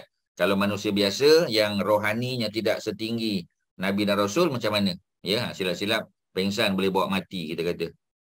Jadi oleh kerana tu ya apa ni Maryam ya dianggap special kerana dia bercakap dengan Jibril ya face to face dia bercakap face to face dan biasanya kalau orang bercakap face to face dengan Jibril ni jadi nabi lah ya ha. jadi adakah Maryam tu nabi ya kerana kerana Jibril datang ya dan Jibril datang bawa wahyu tu Ya, ha, bawa wahyu walaupun bukan dalam bentuk kitab tapi wahyu daripada Allah. Ya, boleh tak kita kata uh, Maryam tu seorang nabi? Boleh tak? Boleh tak Datin Lin? Ya, pasal Jibril datang bagi tahu dia tentang wahyu tentang sesuatu yang akan berlaku. Boleh tak? Agaknya boleh tak tuan-tuan? Ya, Datin Lin? Kalau untuk kalau untuk perempuan memang dipilih Maryam lah tapi tak ada tak ada apa ni tak ada malaikat untuk perempuan kan ustaz kan eh tak tak ada tak ada nabi untuk perempuan hmm ya yeah, ya yeah. Jadi tidak ada nabi di kalangan perempuan kan jadi bila tak ada nabi di kalangan perempuan macam mana kita nak kata Maryam tu nabi ya yeah? al imam atau bari ada sebut ustaz pun dalam kuliah-kuliah yang lepas-lepas ada sebut ya ha, jadi cerita bahawasanya uh, Al-Imam At-Tabari dalam kitab tafsir dia. Imam At-Tabari ni ulama tafsir besar lah. Dia datang, ya, dia meninggal tahun 310 Hijrah. Maknanya dia dia hidup uh, 400 tahun sebelum Ibnu Kasir. Ya, Al-Hafiz Ibnu Kasir, ya, uh, dia lahir tahun 700 Hijrah, meninggal tahun 770, 71 lah. Ya, uh, tahun 770, 771 Hijrah. Tapi kalau Imam At-Tabari meninggal 310 ya nak sampai ke zaman Ibnu Kasir itu lebih kurang 400 tahun. Ya, ha, sebab itu Ibnu Kasir punya kitab dia lebih up to date lah. Ya, ha, pasal dia dah baca kitab Imam Tabari tu. Ya, dia baca kitab tafsir Imam Tabari, dia ringkaskan. Itu yang jadi tafsir Ibnu Kasir. Jadi dia Imam Tabari tulis The History of Tabari, Imam Ibnu Kasir pendekkan dia, ringkaskan jadi Al-Bidayah wa Nihayah from the beginning to the end ya yang diterbit oleh Dewan Bahasa Pustaka ya. Ha. Dan kita baca salah satunya kita baca dua ya. Ha, yang kita baca yang apa yang Nia buat tu ya dengan Datin Lin tu kita baca Khulafa Rashidin. Itu daripada Al Bidayah wa Nihayah Ibn Qasir itu salah satu chapternya dan juga yang kita belajar yang dengan apa ni Moses kat Rohiza itu pun daripada Al Bidayah wa Nihayah. Ibn Qasir juga. Ha, jadi mana kitab hebat lah ya. Tapi kitab hebat itu terhasil daripada kitab yang hebat juga ya sebab rujukan dia At-Tabari ya Imam At-Tabari yang datang daripada Parsi ya ha, daripada Tabaristan. Jadi nak bagi tahu bahawasanya ya ulama-ulama yang datang kemudian dia bermanfaat dia ambil manfaat daripada ulama-ulama silap dia macam macam di universiti lah ya. Ha, mana kalau ada orang nak buat PhD ya ha, dia akan tengok ada tak ha, tesis-tesis yang orang dulu-dulu buat ya. Ha, mungkin dia nak buat tentang apa kita panggil ya. Ha, tentang hadis-hadis ke tentang sirah ke tentang fiqh ke dia akan tengok ya apa ni tesis-tesis PhD yang dulu-dulu ya. Ha, jadi oleh kerana tu ya dia akan ambil manfaat. Dia tengok apa yang orang belum buat apa yang dia boleh sumbang apa yang new finding dia boleh bagi. Macam itulah cerita dia Okey tuan-tuan ya mungkin Siapa tu ya? Mungkin Datin Lin tak mute ke? Satu lagi ni. Ya Ustaz tak pasti. Siapa tu? Ya, uh, Kak ni ke? Mungkin Haji apa boleh tolong mute kan ya? Ada soalan ke dekat chat tu? Tak ada ya. Ha, Kak Maritun dah jawab dah. Tak tak tak ada perempuan yang jadi nabi ya. Imam Tabari yang kata tak boleh ya. Kalau ada Maryam lah ya. Ha, tu special Maryam ni. Jadi kedudukan Maryam memang tinggi lah ya ha, kerana ya dia juga ya di ada kelebihan sebab jumpa dengan Jibril secara berdepan. Ya ha, tu kelebihan dia lah. Ya Ustaz, ada so, apa? Sorry Silakan. sorry tak kapa ya. Ustaz. Ya. Okay, saya saya cuba dan surah Maryam ni. Jadinya hmm. sebelum Maryam ni dengan izin Allah dengan rahmat Allah dia mengandung. Jadi hmm. sebelum dia mengandung tu daripada awalnya tu Allah dah Allah yang Maha mengetahui kan. Jadi Maryam ni bila dia dilahirkan dia juga seorang ahli ibadah, dia memencilkan diri dia daripada keluarganya sendiri untuk beribadah saja. Jadi itulah salah satu cara macam yang saya faham dan tiba-tiba dia hmm. mengandung. Kan Ustaz? Dia jadi macam dia memang seorang perempuan mulia tapi mengandung. Jadi macam orang yang kenal dia semua mungkin akan memang percaya yang dia tak buat apa-apa lah. Yeah. Terima kasih Ustaz. Ya sama. Ya. Betul lah ya. Sebab tu satu cabaran bagi Maryam.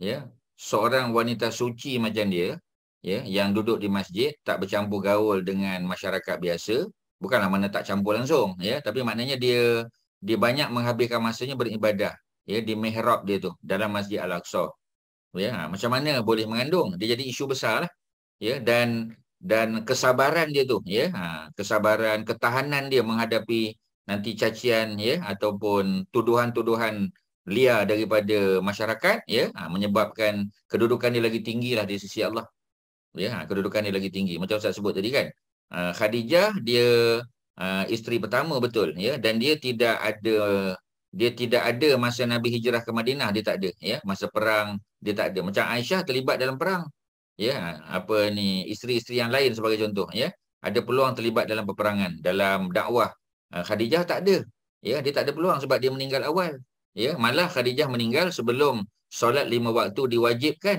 ya belum Isra Mi'raj belum berlaku lagi jadi kalau kita nak kira, kita kata sayanglah Khadijah tu. Tapi Allah lebihkan dia dalam bentuk lain pula. Ya, dia mengandung enam anak Nabi. Dia melahirkan enam ya, anak Nabi. Beliaulah yang yang apa kita panggil yang support Nabi masa peringkat awal. Ketika orang hina Nabi, ketika orang ya ah, menjauhkan diri daripada Nabi. Ya, orang tempelak Nabi, Khadijah yang mempertahankan Nabi. Maknanya, ya, pahala dan sumbangan dia ya dalam bentuk tadi tu sudah cukup lah. Dah cukup dah. Ya sebab tu dia tetap menjadi wanita apa? Wanita kita kata sayyidah. Sayyidah ni makna penghulu ya ha, untuk orang-orang perempuan di syurga. Layak sangat dia tu. Walaupun dia tak hijrah dia tak dapat pahala hijrah dia tak dapat ya ha, isteri lain macam Aisyah Saudah ya Hafsah semua dapat pahala hijrah. Apa ni uh, Khadijah tak dapat. Tetapi isteri lain tidak dapat pahala mengandung dan melahirkan anak nabi tak ada seorang pun. Melainkan Maria. Tapi Maria ya orang yang masuk Islam agak lewat. Dan beliau bukan orang Arab ya tidak ada terlibat dalam perang. Maknanya Allah buat macam tu pada manusia ni. Lain manusia lain cabaran dia. Lain manusia lain dia punya tribulasi dia lain. Ya ha, dan Allah bagi pahala mengikut ya mengikut apa yang Allah kehendaki. Allah dah tetapkan. Sebab tu tadi ya kalau Maryam Maryam tak nak pun ya dia kata tak nak aku tak nak mengandung. Aku tak nak nanti kena fitnah. Tak boleh. Sebab sebab Allah tahu dia mampu. Ya ha, ayat Quran kata la yukallifullahu nafsan illa wusaha. Ya ha, ayat terakhir kan ya dalam apa kita panggil? Dalam surah al-baqarah ayat ujung sekali ayat 286 la yukallifullahu nafsan illa wusaha Allah tidak membebankan seseorang individu itu melainkan apa yang dia mampu. Maknanya Allah Maha tahu Maryam mampu melalui ujian tadi. Maryam mampu melalui ujian tadi. Sebab tu Allah bagi dan dengan sebab dia bertahan dia bersabar Allah naikkan darjatnya dapat pula pahala mengandung pahala apa bersalin ya pahala membesarkan itu belum cerita dia dia dia sorokkan apa ni Nabi Isa bawa Nabi Isa sebab Roman apa ni Roman King ya Roman soldier nak tangkap Nabi Isa dia lari ke sana kemari sampai ke Turki pun ada House of Virgin Mary kita pergi ke Turki ada House of Virgin Mary pergi ke Mesir pun ada House of Virgin Mary. Maknanya berapa jauh, berapa berapa banyak ya kita kata usaha Maryam untuk menyelamatkan anak dia daripada ditangkap. Ya, ha, jadi maknanya hebatlah Maryam ni memang ya cabaran dia tu hebat sangatlah. Ya, memang tak boleh banding dengan orang lain lah. Ya, sebab tu memang layak lah. Ya, kalau di akhirat besok, di syurga besok, dia digandingkan dengan Nabi Muhammad sallallahu alaihi wasallam. Tidak ada lelaki yang lebih baik untuk dijadikan sebagai suami Maryam di syurga melainkan baginda Nabi sallallahu alaihi wasallam. Ya, itu Ibnu Katsir ada sebut dalam uh, apa ni Stories of the Prophet sama tuan-tuan. Kitab yang sama yang kita belajar. Okey ya. Uh, itu kalau kita boleh apa ni detailkan ya bagaimana ya kita tahu Allah telah tetapkan amran maqdiyah. Dia mengandung ya. Uh, bila dia mengandung apa dia buat? Dia mengasingkan diri sekali lagi. Ayat 22. Ya, fantabazat. Maka dia pun mengasingkan diri. Kali ini bukan lagi dalam Masjid Aqsa. Tadi mengasingkan diri untuk ibadah ya. Di sebelah ya di sebelah di sebelah apa kita panggil? Di sebelah timur ya. South south east tadi ya. South east itu dekat dengan tempat imam tuan-tuan ya. Tuan-tuan yang dah pergi dengan ustaz mungkin mungkin ingat lagi lah tak tahulah. Datin Lin yang yang terakhir pergi sebelum pandemik tu ialah Datin Lin dengan family lah. Ya dan ada beberapa orang lagi yang ikutlah. Haji Hassan Haji Hassan sebelum tu rasanya kan. Haji Hassan dengan Haji apa Kak Nora ini sebelum tu lagi ya. Ha, dan ada beberapa orang lagi lah ya. Macam Kak Masitah ya. Pernah ikut juga ya. Dan ramai lagi lah ya. Ha. tak sama nantinya sama dengan sama dengan Datin kita oh sama ya. Ha, ha okey sama. Maknanya awal 2020 ya, awal eh 2020 ya bulan Februari ya awal Februari ke ujung ya ha, awal Februari jadi mungkin ingat lagi tempat tu ya. Ha, jadi kita ada ambil gambar di situ, kita tengok baliklah gambar gambar-gambar lama tu insya-Allah ya ha, akan akan nampak tempat Maryam. Maknanya memang dia seorang wanita ahli ibadah. Ya dan cabaran yang sangat hebatlah dia untuk dia menghadapi fitnah kaum dia. Ya, sebab bapaknya Imran ahli ibadah juga. Ya, maknya Hannah ahli ibadah. Ya, ha, bapa angkat dan juga bapa saudaranya Nabi Zakaria seorang nabi dan rasul. Ya, mak saudaranya eh apa ni alias Sabis orang hebat juga. Maknanya cabaran yang sangat hebat untuk dia berhadapan dengan benda tu, ya. Ha, dan dia melalui dengan baik, ya, itu ya kelebihannya Allah, Allah bagi pada dia sebab Allah tahu dia mampu. Ambil pada ayat 286 tadi kan, ya surah Al-Baqarah. Allah tidak akan membebani seseorang individu itu illa wus'aha melainkan ya melainkan dia mampu untuk melakukannya. Allah tahu. Jadi bila dia mengandung ya ayat 22 fanta bazat ya lalu dia pun mengasingkan diri ya ha, dia bawa anak dia tadi. Mana anak dalam kandungan lah. Makanan ke satu tempat yang qasiyah tempat yang jauh. Ya ha, yang ini para ulama apa ni bincang panjang ya. Dan kata mereka tempat yang jauh itu adalah Nazares. Ya, Nazares. Nazares itu memang kalau naik bas, kalau tuan-tuan masih ingat, ya, ha, dalam dua jam lebih sikit lah. Ya, dua jam lebih sikit. Sekarang ada highway, tuan-tuan. Ya, tak ada masalah. Kita naik bas cepat. Dulu, ya, berjalan dengan keldai, tuan-tuan boleh agak lah. Ya, ha, berapa lama dia ambil masa. Ya, ha, berapa lama ambil masa, tuan-tuan. Ya, sudah tentulah. Ya, akan ambil masa berhari-hari perjalanan tu. Ya, lebih-lebih lagi dengan dengan keldai. Ya, dia dalam keadaan bersembunyi ya. Sebab apa? Sebab kalau dia duduk di Masjid Aqsa sudah tentu dia akan ya dia akan di lagi teruklah tomahan yang akan dilalui. Ya tentu orang akan halau dia orang akan fitnah dia macam-macam ya. Sebab itu apa ni Al Hafiz Ibnu Katsir sebut dalam kitab apa ni apa Stories of the Prophet tu ya bahawasanya Nabi Zakaria juga pernah dituduh ya menyebabkan Maryam itu mengandung. Sebab Nabi Zakaria yang ambil apa ni Maryam waktu malam dia bawa balik ya ha, tidur di rumah dia. Esok pagi-pagi dia hantar balik ke masjid. Maknanya itulah ya antara uh, perkara yang dibuat oleh Nabi Zakaria. Dan Nabi Zakaria sebagai seorang nabi tetap tidak tidak apa tidak sunyi daripada tuduhan masyarakat. Masyarakat itu tak ada orang lain lah ni. Ni mesti bapa angkat dia. Ini mesti bapa saudara punya kerja ni ya ha, jadi maknanya itu juga satu satu apa satu cara Allah nak naikkan darjat ya Nabi Zakaria alaihissalam. Ya supaya dia boleh bersabar dan sudah tentu nabi-nabi dan rasul ya mereka adalah ya manusia yang paling sabarlah ya. Ha, dalam apa dalam dalam konteks manusia tak ada lain tak tak ada lain lah ya. Mestilah nabi-nabi dan rasul lah yang paling sabar sekali. Sebab tu sakit yang dialami oleh nabi dan rasul juga ya lebih panjang lebih lama lebih lebih severe ya. Ha, sehingga sehingga mereka dapat pahala yang jauh lebih besar. Ya, seperti mana disebut dalam kitab Riyadhus Salihin, ada cerita suatu hari ketika salah seorang sahabat Nabi, ya, ada yang sebut Abdullah bin Mas'ud. Ya, ha, dia datang jumpa Nabi. Ya, ketika itu Nabi tak sihat, Nabi demam. Ya, jadi bila dia datang, maka dia ingat, ya, Nabi ada ajar, ya, kalau kita ziarah orang sakit, kalau sakit tu tidak merebak, ya, tak contagious, kita sentuh tubuh pesakit tu ketika Abdullah bin Mas'ud sentuh tangan Nabi ataupun tubuh Nabi, terkejut dia sebab panas sangat. Ya, luar biasa, bukan panas macam biasa. Ini memang luar biasa. Ya, maka Abdullah bin Mas'ud ya, apa ni, apa tanya pada Nabi ya tentang tentang apa? Tentang panas tubuhnya tadi. Ya, Nabi kata kami golongan Nabi dan Rasul, ya, kalau sakit ya ditambah dua kali ganda daripada manusia biasa. Maka ya kata Abdullah bin Mas'ud, kalau begitu pahalanya pun pasti digandakan. Nabi mengiyakan. Ya? Ha, jadi maknanya confirm lah. Bahawasanya Nabi dan Rasul, kalau mereka diuji dengan sakit, sakitnya jauh lebih hebat. Kerana apa? Kerana mereka juga mempunyai kesabaran yang lebih hebat daripada manusia biasa. Itu dia punya prinsip dia tuan-tuan. Ya? Ha. Okey, ya? kita balik pada tempat tadi. Ya? Makanan kosian. Makan, makanan mana tempat yang kosi.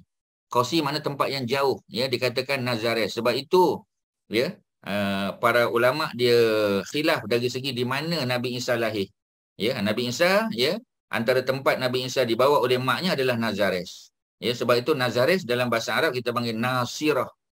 Ya, perkataan dia Nasirah. Daripada Nasirah itulah dapat agama Nasrani.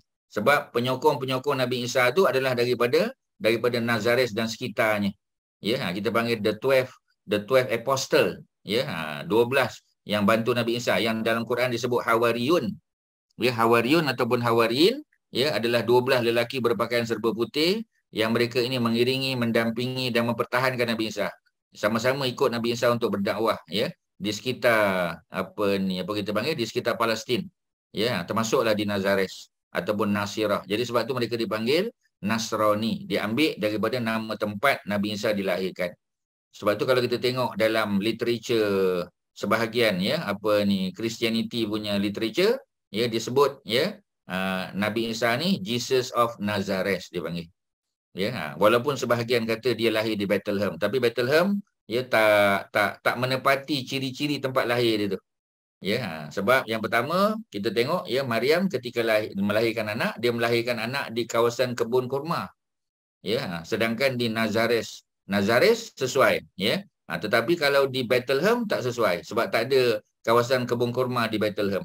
Ya, ha, jadi maknanya nak nak nak bagi tahu bahawasanya ya ada ada apa uh, consideration lain yang kita kena ambil ya untuk menentukan di manakah lokasi sebenarnya tuan-tuan. Ini melibatkan sejarah dan geografi tuan-tuan. Ya, kalau tuan-tuan pernah pergi ke Palestin, tuan-tuan boleh dapat gambaran. Dan sudah tentu ya pada waktu Nabi Isa dilahirkan, Nabi Isa dilahirkan pada musim panas kerana itulah musim apa ni kurma masak ya ha, bukan musim sejuk ya ha, jadi benda-benda tu kita kena ambil kira. Okey ya kita sambung lagi. Kalau tuan-tuan ada soalan silakan. Kalau tak ada kita sambung. Jadi mengandung ya ketika dia mula mengandung setelah ditiup roh oleh Jibril alaihissalam tuan-tuan boleh boleh sebut dua ya. Jibril boleh Jibrail. Ya tadi Datin Lin sebut Jibrail. Tak salah betul. Jibril pun boleh juga. Dua-dua digunakan oleh Quran dan hadiah-hadiah Nabi ya jadi ketika mengandung, dia pun melarikan diri ya ke satu tempat di sebelah di sebelah utara. Ha, jadi maknanya bukan balik ke kampung, dia duduk di Jerusalem. Ya, kampung asal Maryam dan uh, Imran dan mak dia adalah di Bethlehem. Bethlehem dengan Jerusalem tu dekat je tuan-tuan. Ya, ha, kalau naik mana bas maknanya tak sampai 20 minit boleh sampai. Dekat sangat ya. Ha, cuma dengan jam dengan sebagainya akan jadi 40 minit atau 45 minit lah ya. Tapi sebenarnya tak jauh. Ha, cuma kalau dulu naik naik keldai dia akan ambil masa lah. Macam Ustaz sebut tadi kan. Ya, daripada Jerusalem ke Nazareth kalau dengan kenderaan lebih kurang 2 jam. 2 jam lebih sikit. Tapi kalau dengan dengan keldai kita tahulah ya dengan meredah kawasan apa ni hutan ya ha, sudah tentu dia akan ambil masa kita tak tahu berapa hari. Ya mungkin lima hari, mungkin lebih ya. Ha, perjalanan pula ya apa ni orang perempuan pula kita kata ya bersendirian ya. Ha, jadi sudah tentu ya perkara-perkara ini kita kena ambil kira. Ya maknanya cabaran tu ya. Ha, kalau lelaki satu hal ini perempuan tuan-tuan. Seperti mana ya bila kita baca cerita hijrah ya apa ni asma yang hantar makanan dalam keadaan mengandung ya panjat bukit apa ni sur ya untuk hantar makanan kepada nabi dan dan Abu Bakar. Oh tu satu satu kemuliaan kepada asma tuan-tuan. Memang hebatlah asma ni ya dalam keadaan begitu. Dia menawarkan diri untuk menghantar makanan ya. Ha, dan sudah tentu ya dia tidak terlepas daripada pengawasan orang Quraisy Ya, sebab apa pula dia yang terlibat? Pasal apa Aisyah tak terlibat? Ya, kalau Aisyah lebih mudah kan sebab dia tak mengandung. Ya, tapi kalau Aisyah yang pergi senanglah ditangkap. Orang akan tahu bahawasanya Aisyah pergi ke mana, ya. Tapi kalau Hafsah dia punya risiko tu boleh dikurangkan sebab dia berbadan dua. Jadi kalau dia sembunyikan makanan dalam dalam pakaian dia, tidaklah perasan sangat, ya. Ha, jadi maknanya hebatlah ya wanita-wanita hebatlah kita kata. Setiap zaman tu ada tuan-tuan. Okey ya. Fa'aja'aha al-makhad ya ha, ila jiz'in nakhlah. Ha, jadi ni ya cerita bagaimana kita kata ya bagaimana apa ya bagaimana apa yang kita sebut sebagai Maryam ni dia punya keadaan dia ya ketika mana dia sakit tu ya fa'aja'aha al-makhad ya ayat yang ke-20 23 ya ha, apa keadaan dia? Ya dia rasa sakit. Ya ha, jadi bila sakit itu ya menyebabkan apa? Ya sakit nak bersalin tu. Menyebabkan dia terpaksa bersandar. Ya ha, fa ajaaha al makhad ila jiz'in nakhlah. Sakit nak bersalin. Ya tak ada siapa tolong lah. Ya siapa yang nak bantu dia tuan-tuan? Dia pun dalam keadaan bersembunyi. Kalau kita pergi ke Nazareth tu ada satu gereja besar. Dia panggil Church of Annunciation. Ya kalau orang Kristian percaya ya Katolik percaya ya di tempat itulah ya. Jibril datang bagi tahu Maryam ya dia akan dia akan apa? Dia akan mengandung. Ha, tapi kalau kita orang Islam percaya berlaku benda tu di Masjid Aqsa. Daripada Masjid Aqsa baru dia menuju ke Nazareth ya ha, tapi bagi orang Kristian ya dia kata sebenarnya tak. Ya ha, yang apa kita panggil ya yang berlaku Jibril datang tu ialah Jibril datang tu adalah di Nazareth sebab tu gereja tu dipanggil the Church of Annunciation tempat Jibril bagi tahu kepada Maryam ya bahawasanya dia akan mengandung. Ha, jadi ada perbezaan. Kalaulah di Nazares ya tempat apa ni Jibril bagi tahu pada Maryam, jadi tempat mana yang Maryam pergi? Ya, tempat yang jauh daripada Nazaret, takkan dia balik ke Bethlehem, ya, takkan dia balik ke apa kita panggil? ke Jerusalem, ya, impossible sebab orang kenal dia. Pasal apa dia pergi Nazaret? Sebab Nazaret orang tak berapa kenal dia. Ya, ha, sebab dia lebih dikenali di mana? Di Bethlehem dan juga di Jerusalem. Ya, orang uh, Nazaret tak berapa kenal dia. Melainkan ada seorang lelaki, ya lelaki beriman, ya kalau dalam literature Kristian dipanggil uh, Joseph the Carpenter. Ya, ha, Joseph ni seorang seorang tukang kayu, ya. Ha, jadi beliaulah nanti Nabi Isa bekerja dengan dengan workshop dia. Dia ada ada apa kita ada bengkel, ya, bengkel kayu dia. Ha, kat situlah Nabi Isa. Ya. Sebab tu kalau kita baca sejarah, ya, ha, kita akan tahu Nabi-Nabi dan Rasul semuanya bekerja. Dan antara pekerjaan yang dibuat oleh Nabi Isa selain daripada mengembala kambing, ialah bekerja di bekerja di bengkel. Ya, siapakah pemilik bengkel itu? Beliau adalah Joseph the Carpenter ataupun Yusuf An-Najjar dalam bahasa Arab. Ya, Joseph Yusuf An-Najjar adalah carpenter. Ya, ha, jadi An-Najjar An-Najjar ni biasanya adalah apa ni apa orang yang bekerja dalam bidang dalam bidang pertukangan kayu termasuklah ya Yusuf dan juga Nabi Allah Isa alaihissalam. Okey tuan-tuan ya, apa yang berlaku? Maka Maryam bila sakit nak bersalin, dia pun menyandarkan dirinya ke mana tuan-tuan? Ke jiz'in nakhlah. Nakhlah adalah pokok pokok kurma. Ya, ha, jadi pokok kurma. Jadi dia sandarkan dirinya pada pangkal pokok jiz'i. Jiz'i itu pangkal bawah pokok tu dia sandar kat bawah tu. Ya nak bersalin dah, ya qalat kemudian dia pun berkata ini perkataan yang kadang-kadang boleh menimbulkan fitnah juga. Ya apa kata dia? Ya laitani mitu qabla haza. Ya laitani alangkah baiknya alangkah eloknya. Ya kalau mitu qabla haza kalau aku mati je sebelum ni. Maknanya tuan-tuan ya cuba tuan-tuan bayang budak berusia sekitar 15 hingga 16 tahun. Ya kita kata lebih kurang 16 lah sebab dia dia masa mengandung tu umur 15 ya. Ha, jadi proses mengandung 9 bulan 10 hari, maknanya umur dia mencecah 16 lah. Ya mungkin 16, ya lah 16 tahun. Dalam keadaan tu mak tak ada meninggal dah, bapak tak ada, ya. Tak ada siapa Nabi Zakaria pun tak ada. Nabi Zakaria kekal di di apa di Jerusalem, ya. Tak ada siapa tuan-tuan bersendirian. Ya dalam keadaan nak bersalin, ya dengan sakit nak bersalin, ya dengan dengan apa kita panggil dia dia dia fikir bahawasanya macam mana keadaan masyarakat ya akan menolak dia akan fitnah dan sebagainya ya sampai ke peringkat mana terkeluar daripada daripada mulut dia ya apa tuan-tuan? Ya laitani alangkah baiknya. Tapi ya laitani ini adalah satu lafaz yang tidak tidak boleh berlaku. Impossible to happen. Mustahil ya ha. jadi kalau ya laitani ya ya laitani mitu qabla haza. Alangkah baiknya kalau aku mati sebelum ni. Seperti mana ya manusia yang dimasukkan oleh Allah dalam neraka waliyazubillah ya ketika dia melihat ya api yang membakar dia kata ya laitani kuntu turaba. Ya alangkah baiknya kalau aku di dunia dulu aku jadi pasir je aku jadi tanah je. Sebab pasir dan tanah ya tidak akan diseksa ya kerana dia tak melakukan kesalahan. Yang melakukan kesalahan manusia. Ya ha, jadi manusia melakukan kesalahan jin manusia melakukan kesalahan mereka akan diseksa. Jadi dia kata kalau aku jadi jadi tanah pun baguslah ya ha, ya laitani kuntu turaba. Tapi mana boleh ya sebab dia telah dicipta sebagai manusia ya. Dan dia telah buat kesalahan. Dan dia layak untuk dihukum oleh Allah dalam neraka ya. Dan dengan ihsan Allah dengan rahmat Allah sudah tentu. Setelah habis hukuman dia kalau dia ada iman walaupun seberat zarah dia akan dimasukkan dalam syurga. Tapi bila tak tahu. Itu semua atas ihsan dan budi bicara Allah Subhanahu Wa Taala. Ya jadi ya laitan ini biasanya perkara yang impossible to happen. Sesuatu yang mustahil. Ya laitani alangkah baiknya mitu qabla haza kalau aku mati je sebelum ni. Kalau aku mati selesai tak ada masalah. Mengandung pun tak, ya tak perlu nak berhadapan dengan masyarakat.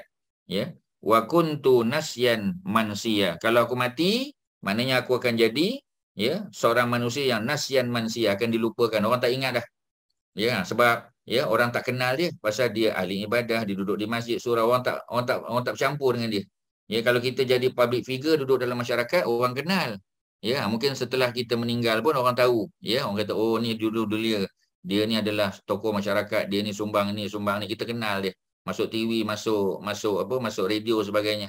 Tapi kalau kalau macam Maryam yang yang apa yang mengasingkan diri beribadah ya tak ada orang ingat dah ya orang tak ingat pun ya orang kata mana Maryam mana yang mana satu eh tak dengar tak ingat tak tak tak pernah dengar pun ya tak tak viral pun ya jadi orang akan lupakan begitu saja ya tapi tidak kerana semua benda ni ayat 20 21 tadi amran maqdiyah. Sesuatu yang sudah ditetapkan dikodokkan ditakdirkan ya ditetapkan. Tak boleh nak elak. Kerana Allah memang rancang perkara itu supaya kedudukan Maryam boleh di-upgrade. Ya itu cerita dia. Maka maka lahirlah ya apa ni Nabi Allah Isa alaihissalam jadi apa yang apa yang apa kita panggil? Ya apa yang berlaku tuan-tuan? Yang berlaku ialah fanadaha min tahtiha ya alla tahzani qad ja'ala rabbuki tahtaki sariyah. Ha, jadi ya sebenarnya di situ ada Jibril alaihissalam. Ya, Jibril ada. Ya, macam mana keadaan Jibril datang tak disebut. Ya, adakah dalam bentuk lelaki yang handsome sekali lagi tak disebut. Ya, kemungkinan. Sebab yang pasti Jibril tak akan datang jumpa Maryam dalam bentuk yang asal. Tadi Datin Lin bagi tahu ya, dia kata dia pernah dengar ustaz, pernah ceramah. Ya bagi tahu kata ketika Nabi bertemu dengan Jibril, di di apa di atas bukit di Jabal Nur Nabi dat, apa ni Jibril datang dalam bentuk asal. Maknanya dengan sayap dia dengan saiz tubuh yang besar ya. Ha, jadi uh, adakah ya begitu keadaan ketika jumpa Maryam? Sudah tentu tidak ya. Ha, jadi mungkin ya dalam bentuk lelaki yang sama ya. Ha, yang pernah datang bertemu dengan Maryam sebelum tu masa di Jerusalem ya. Fanadaha lalu ya siapa dia? Jibril pun panggil Maryam ya. Fanada. Lalu nada dia panggil. Ha Maryam. Minta tiha daripada sebelah bawah. Sebab Bethlehem ni tuan-tuan ya. Ha, tempat tinggi ya. Nazareth pun tempat tinggi. Jadi dua-dua ni tempat tinggi. Dua-dua ni ada kemungkinan. Sebab tu sebahagian Kristian kata Bethlehem lah. Tempat lahir Nabi Isa ya. Ha, sebahagian kata Nazareth sebab tu dipanggil Jesus of Nazareth orang tak panggil Jesus of Bethlehem ya orang panggil Jesus of Nazareth. Ya ha, Nabi Isa yang berasal daripada Nasirah. Ya pengikut Nabi Isa pun dipanggil Nasrani ataupun jamaknya Nasoro. Ya bukan daripada perkataan Bethlehem bukan daripada Nazareth ya jadi ada kebenaran dia. Ada apa kita panggil ada logik dia tuan-tuan. Ya jadi dia dia dia panggil ya apa ni Maryam daripada sebelah bawah. Ya bawah bukit sana. Ala tahzani bagi semangat. Ya ala tahzani janganlah engkau sedih janganlah engkau apa engkau jadi panik jangan ya. Qad ja'ala rabbuki ya. Ha, Allah telah jadikan bagimu tahtaki di bawah di bawah kaki di bawah tempat kau duduk tu ada saria ada apa tuan-tuan? Ya ada ada anak sungai di bawahmu ada anak sungai. Ya ha, jadi ada anak sungai. Sebab apa? Sebab dia nak bersalin. Cuba tuan-tuan bayang ya. Ha, nak bersalin tu dah tentulah nak cuci nak bersihkan ya nak buang darah-darah ya ha, nak cuci pakaian apa semua macam mana? Ya kalau tak ada sumber air ya ha, jadi Allah dah buat ada sumber air di situ tuan-tuan. Ya dia, dia duduk di pokok tu pokok tu memang dah ada dah. Yang ini sungai ya ha, yang di apa? Yang di dialirkan di situ ya oleh Allah Subhanahu Wa Taala. Kita tak tahu macam mana keadaannya. Ya sebahagian kata sungai itu dah ada ya ha, tapi Maryam tak tahu dia tak sedar. Dia tak perasan sebab tempat yang dia nak bersalin ni tempat yang asing bagi dia sebab selama ni dia bersembunyi dalam dalam gereja tu lah ya ha, yang orang Kristian kata Church of Annunciation tadi memang ada rumah lama Maryam kat situ bawah bawah ya basement juga tuan-tuan. Ha, jadi oleh kerana tu ya dia dia dia tak bercampur dengan orang luar sebab kalau bercampur orang tahulah dia mengandung. Tapi ketika nak bersalin dia tak boleh bersalin situ. Ya sebab nanti kalau dengar tangisan anak nanti orang tahulah. Maka dia pergi keluar daripada situ ya ke tempat ya yang disebut sebagai satu kawasan kebun ada kebun kurma. Ya dah tentulah dia asing tempat tu dia tak biasa. Jadi kata sebahagian para ulama mungkin anak sungai itu dah ada ya tapi orang dia tak perasan. Ha, maka Jibril lah yang bagi tahu ya di bawah engkau tu tak jauh daripada situ ada anak sungai. Ya ha, jadi maknanya boleh dicuci ya boleh dibersihkan anak yang baru dilahirkan tadi ya ha, jadi maknanya persediaan tu ada ya. Kemudian Allah kata wahuzzi ilaiki bijiz'in nakhlah ya dan usahakanlah goyangkanlah. Wahuzzi ilaiki.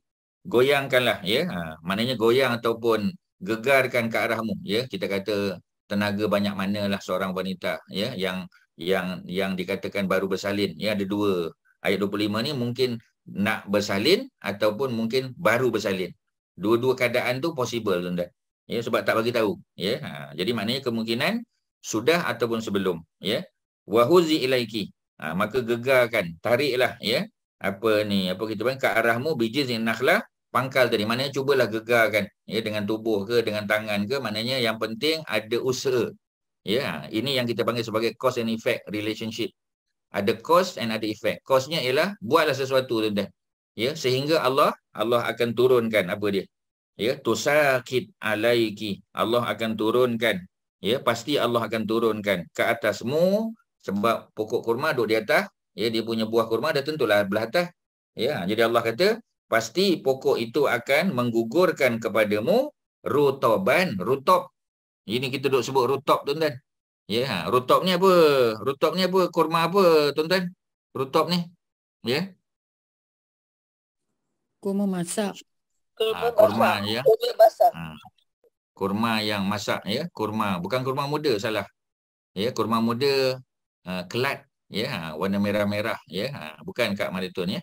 Jadi kurma masak ya ha, kurma fresh ya fresh dates ya ha, yang yang manis ya paling manis lah ya ha, yang Nabi suka ketika berbuka puasa ya. Ha, jadi kita selalu tak ambil peduli sangat ya kita dah belajar apa mungkin ya tak apa ni apa buka puasa kan ya. Masa Ramadan dulu kita ada baca beberapa hadis ya dalam kitab Bulughul Maram cerita tentang buka puasa ya. Ha, jadi nabi buka puasa bukan dengan kurma kering bukan dengan tamar ya. Ha, tapi nabi akan makan rutop dulu. Kalau rutop itu tak ada baru nabi ambil tamar. Ya dia ada dia punya sekuen dia tuan-tuan. Ya ha, dia ada dia punya ranking. Kalau ada rutop kurma apa kurma apa kurma masak makan kurma masak dulu. Tiga biji ya minimum. Kalau mungkin lapar lagi makan jadi lima ataupun tujuh macam tu lah ya sebab nabi tak makan nasi makan mi goreng macam kita tuan-tuan. Ya ha, jadi bagi masyarakat Madinah sudah memada dengan dengan rutop tapi kalau rutop tak ada makan kurma kering. Sebab apa pula? Ya sebab rutop hanya ada pada musim kurma. Musim kurma masak. Ya ha, kalau kita pergi bulan 8 bulan 9 adalah kurma masak data pokok tu. Ya ha, tapi kalau dia datang pada musim sejuk ya macam kita pergi bulan 12 bulan 1 kan ya mana ada kurma masak data pokok Ya, ha, jadi kat sekarang mungkin dia boleh simpan dia peram kan. Ya, tapi kalau dulu tak ada. Ha, jadi sebab tu Nabi juga biasa makan makan tamar. Mana kalau Nabi berbuka puasa kena bulan puasa itu pada bulan bukan musim musim panas, mana musim sejuk, dah tentu Nabi akan makan tamar. Tapi kalau musim apa ni panas ya musim kurma berbuah Nabi akan makan rutok. Dan sudah tentu rutok yang terbaik ya Allah guna kata rutok ya rutoban janian ya rutop yang segar rutop yang masak. Ya ha, maknanya rutop masak ni dia ada fungsi ya untuk memudahkan bersalin. Kalau orang tu nak bersalin ataupun dia akan menyebabkan ya dia punya proses penyembuhan dia. Ya dia, dia punya recovery tu ya ha, lebih recovery proses tu lebih cepat. Ya kerana apa? Kerana rutop tadi tuan-tuan. Ya ha, itulah Ya, itulah yang boleh saya sampaikan tuan-tuan untuk hari ini selesailah muka surat ni. Yang lain tu kita sambunglah tuan-tuan ya. Ada apa silakan soalan? Syirin ada apa Syirin? Tuan-tuan kalau ada silakan Kak Mas ada apa? Kak Mariatun ya. Nak tanya yang hari tu Ustaz cakap hmm, kalau perkataan summa tu makan masa kan? Kalau yeah. fa tu macam immediate. immediate. So um, tadi cerita dia daripada dia nak ambil air wuduk tu dah tak ada dia keluar dia jumpa Jibril lepas Jibril kata nak bagi dia baby. So hmm. yang tu dekat uh, ada fa tu kan ustaz kan? Hmm. Fa yeah. hamalat tu maksudnya dia terus conceive lah dalam dalam perut dia terus ada baby lah. Ya yeah, betul. Lepas bila, tu dia maknanya ada bila ditiup bila ditiup aja apa ni tiup roh tu jadi terus. Terus ada jadi baby. terus tak ada. Ya. Yeah. Lepas tu ayat seterusnya fa'aja ahal mahak tu um, terus sakit nak bersalin. So dia punya proses dia tu sama tak macam kita 9 bulan tu ke atau hmm. laju sikit? Tak, ya, tak ada pula cerita cepat ya. Ha, sebab dia terus bersalin, ya, ah, dia terus mengandung ya. Ha, cuma macam tadilah ya di satu tempat yang jauh ya. Kemudian bila bila apa kita panggil ya sebab sebab ada fa'aja ya Ha, jadi macam kita kata, oh kalau macam tu, uh, tiup roh tiup, masuk dalam perut, terus mengandung. Lepas mengandung, tak lama lepas tu terus bersalin. Tak? Ya, dia ada proses. Ha, yang itu tafsir lah yang, yang menjelaskan. Ya, ha, jadi uh, tak tahu apa sebab mengapa disebut fa. Pasal apa tak kata summa lama lepas tu. Ya, ha, sebab kadang-kadang ada rahsia lain yang kita tak tahu. Ya, ha, sebab itu ayat-ayat Quran ni kadang-kadang ya para ulama hanya boleh berijtihad ya mungkin mungkin mungkin kita tak tahu hakikat sebenarnya tu Allah Subhanahu Wa Taala ya. Ha. jadi kalau ditiup roh terus terus mengandung. Tapi adakah selepas mengandung terus bersalin? Dah tentulah tidak ya. Kerana apa ni proses mengandung Maryam ya ha, dalam proses Isa tu dia macam perempuan lain juga. Sebab Allah nak bagi pahala penuh ya. Ha, nak bagi pahala penuh. Maknanya nak bagi pahala dia susah daripada peringkat awal bulan pertama kedua ketiga sampailah ya ha, dia dia nak bersalin tu. Jadi maknanya Allah nak bagi dia seperti mana perempuan lain juga. Kelebihan dia hanya mengandung tak ada suami. Tetapi prosesnya sama macam orang lain. Sakitnya ya ha, susahnya kepayahan dia itu tak tak dibezakan ya. Ha, jadi apa ni tak tahu apa sebab rahsia sebenar mengapa fa'aja'ah ya macam Syarin tanya tadi. Itulah kalau saya boleh respon. Ya ada apa lagi? Silakan tuan-tuan. Assalamualaikum Ustaz. Ya, Waalaikumsalam. Uh, kita panggil Nabi-Nabi, lepas kita panggil nama dia, kita panggil sebut alaihi salam. Maria pun kita panggil alaihi salam. Tapi Betul. walaupun tak ada Nabi di kalangan perempuan, adakah hmm. taraf Maryam ni sama macam taraf Nabi? Dan uh, adakah perempuan-perempuan lain ada kita panggil alaihi salam? Oh, ya. Ha, biasanya orang hebat-hebat lah, ya.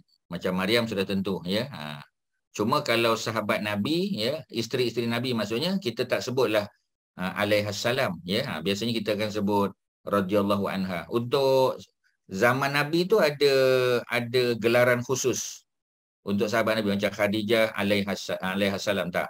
Khadijah kita biasa sebut Khadijah radhiyallahu anha. Aisyah, Hafsah, isteri Nabi. Ya, ha, tak pernah pula orang sebut alaihassalam. Tak tahulah kalau Ustaz terlepas pandang. Tetapi ya untuk perempuan-perempuan lain kita nak kita nak panggil zaman-zaman dia. Macam kita kata zaman Nabi Musa ya. Ha, maknanya isteri Firaun Asia ya. Zaman Maryam contoh ya. Ha, itu biasa kita sebut alaihissalam kedudukan tak samalah pasti tak sama macam Nabi dan Rasul ya. Ha, walaupun kita kata Nabi Isa alaihissalam alaihissalam ya. Nabi Nabi Musa Nabi Harun alaihi alaihi masalam ada ya ada ada perkat, macam nak sama tapi tak sama kedudukan tak sama. Tak boleh sama mana? Mana sama je. Ya, tapi perkataan alaihassalam tu betul. Ya, memang digunakan. Tetapi ha, sebab ada orang tanya, dia kata sebab apa isteri-isteri Nabi tidak dipanggil alaihassalam, alaihissalam, ya. Ha, kalau kita nak kata Abu Bakar pun tak dipanggil macam tu, kedudukan Abu Bakar sudah tentu lebih tinggi daripada daripada anak dia apa ni Aisyah. Aisyah isteri Nabi kan. Abu Bakar sahabat Nabi paling rapat. Ya, bapa kepada Aisyah. Ya, dah tentulah Abu Bakar lebih mulia, memang Abu Bakar paling mulia. Tetapi mengapa Abu Bakar tidak dipanggil Abu Bakar alaihi salam? Tak pun tak panggil. Jadi kalau Abu Bakar yang lebih mulia pun tak dipanggil alaihi salam, ini kan pula apa ni apa Aisyah tadi, ya. Ha, kerana nak apa ni para sahabat Nabi ni ada satu istilah khusus yang dipanggil sebagai radhiyallahu anhu kalau lelaki, radhiyallahu anha kalau perempuan. Ya, ha, itu kalau saya boleh respon. Ya, ada lain silakan, tuan-tuan. Assalamualaikum Ustaz. Apa lagi? Waalaikumsalam. Betul lah. Ustaz, dalam ayat Al-Imran, ayat 37, ayat berapa? Ayat 37, ha, Al-Imran 37, hmm. semasa yeah, Maryam dia bawa pemilihan Zakaria, setiap kali Zakaria jumpa di Mehab, dia nampak hmm. buah-buahan Ustaz. Eh? Yeah. Buah-buahan diturun hmm. Allah. Tapi di sini masa dia mengandung, kenapa dia kena kerja kerja keras untuk goyang nak dapat buah-buahan? Allah boleh turunkan buah lah. Kan? Dia, dia betul. Dia ya. Ha. Betul Sebab tujuan dia beza je. Tujuan buah tadi tu, ya, tujuan buah tadi untuk supaya Nabi Zakaria menyedari bahawasanya anak perempuan juga hebat. Kerana tuan-tuan kena ingat, Nabi Zakaria ketika doa, dia doa nak dapat anak lelaki. Pasal anak lelaki saja boleh jadi Nabi. Ya, ha, sebab itu Allah perintah Nabi Zakaria, ya, Allah buat Nabi Zakaria besarkan Maryam tu. Supaya Nabi Zakaria menyedari bahawasanya anak ni lelaki atau perempuan dua-dua boleh jadi hebat. Anak lelaki boleh jadi nabi. Anak perempuan tak boleh tapi kedudukan anak perempuan juga hebat. Sehingga ketika apa ni Zakaria masuk ke mihrab Maryam tu dia tengok ada buah-buahan betul? Ya ayat 37 tu. Ya dia tanya kan ya apa ni daripada mana dapat ni ya ha, anna laki haza. Daripada mana dapat buah-buahan ni? Ya ha, jadi Maryam bagi tahu ya semuanya daripada sisi Allah Subhanahu Wa Taala. Ya ha, jadi Allah boleh bagi in Allah yarzuqu ya may yasha bi ghairi hisab. Allah boleh bagi apa saja. Ya kalau Allah kehendaki. Dan tidak ada tak ada batasan. Ya Allah boleh bagi setiap hari Allah boleh bagi petang malam Allah boleh bagi buah musim apa pun. Dan benda tu yang salah satu sebab ya Maryam apa ni apa kita panggil ya Nabi Zakaria mengubah pandangan dia terhadap anak tadi Haji baca ayat 38 baru dia doa dan doa Nabi Zakaria menjadi doa umum saja Rabbi habli miladunka ya apa ni apa kita panggil uh, zuriatan thayyibah mula-mula dia minta anak lelaki tapi kemudian dia minta anak secara umum, zuriatan taibah saja. Dia sudah mengubah ya. Dan mengubah tu ayat 38 bertitik tolak daripada ayat 37. Setelah dia melihat sesuatu yang luar biasa dihidangkan oleh Allah di mihrab Maryam. Tujuan dia ya. Ha. Tetapi ketika nak melahirkan anak tak ada siapa tolong tuan-tuan. Memang pasti Allah nak Allah boleh bagi apa saja boleh. Allah nak bagi buah yang lain daripada kurma pun boleh. Ya, tetapi macam tadilah situasinya, lokasinya sudah berada di kebun. Dia di kebun tuan-tuan. Ya? Ha. Boleh tak Allah turunkan saja kurma tadi? Boleh, pasti. Tetapi kerana Allah nak bagi tahu bahawasanya sesuatu yang kita nak perolehi biasanya melalui proses tuan-tuan. Ada proses. ya. Sebab kalau di mihrab, memang dalam tempat tu tak ada pokok. Memang tak ada pokok dalam dalam masjid tu tak ada pokok. Maknanya dalam bangunan tu luar adalah apa ni pokok apa pokok apa ni apa kita panggil pokok zaitun ya memang ada kat luar ya tapi kat dalam tak ada ha, jadi maknanya lebih menasabah lah ya supaya Maryam tu buat sesuatu kerana Allah nak bagi tahu ada cause and effect. Ya kalau tidak digegarkan apa kita panggil kalau tidak dipecahkan ruyung mana kan dapat sagunya orang Melayu kata kan? Ya jadi maknanya ada ada ada ada benda lain haji sebab different situation ya different cause and effect punya relationship dia dua situasi konteks yang berbeza aja ya boleh saya Sebab boleh tu, saya okey. Boleh boleh. Silakan. boleh saya kaitkan dengan akhlak Rasulullah tentang topik bekerja kita kena bekerja macam Maryam berusaha lah untuk dapat sesuatu Ustaz. Boleh? Betul betul. Memang betul, betul. Eh? ya sebab tu Nabi dan Rasul semua bekerja. Tadi Ustaz sebut kan Nabi Isa ya. Selain daripada mengembala kambing Nabi Isa juga adalah carpenter. Nabi Muhammad sallallahu alaihi wasallam meniaga ya jaga kambing ya dan buat benda-benda lain lagi ya. Yang kita kata sesuailah dengan apa kita panggil dengan tuntutan manusia sebagai sebagai hamba Allah yang kena bekerja. Kalau Allah nak bagi macam tu saja boleh? Boleh. Ya tetapi nanti jadi sebab pula orang kata eh, nabi pun tak kerja ini kan pula kami. Ha tak boleh lah. Ya sebab nabi itu contoh teladan. Okey tuan-tuan ya itu yang boleh kita simpulkan. Terima kasih atas semua soalan Haji Hasan, Sherin, ya apa ni Datin Lin ya ha, dan semualah termasuk Haji Mat Syah ya ha, kita sampai di sini tuan-tuan boleh tandakan ayat 25 insyaallah ayat ada cerita Maryam tak tak selesai lagi dan selepas cerita Maryam dah tentu cerita Nabi Isa pula tuan-tuan panjang lagi perjalanan ya sebab surah Maryam ni surah yang yang agak panjang 98 ayat surah Makkiyah dia tidak terlalu panjang ayatnya tetapi jumlah ayatnya agak panjang 98 dekat 100 ayat ya ha, dua lagi cukup 100 Okey, ya, mudah-mudahan bermanfaat. Terima kasih semua Haji Nazri, ya Haji Mat Syah dan semua. Wassallallahu ala sayyidina Muhammadin wa ala alihi wa sahbihi wasallam. Alhamdulillah alamin. Assalamualaikum warahmatullahi wabarakatuh. Waalaikumsalam. Terima kasih. Terima kasih semua. Terima kasih Nazri. Terima kasih yang bertanya. Terima kasih. Terima kasih Abang Syah. Terima kasih semua yang hadir, yang ada bayar yuran kita. Terima kasih.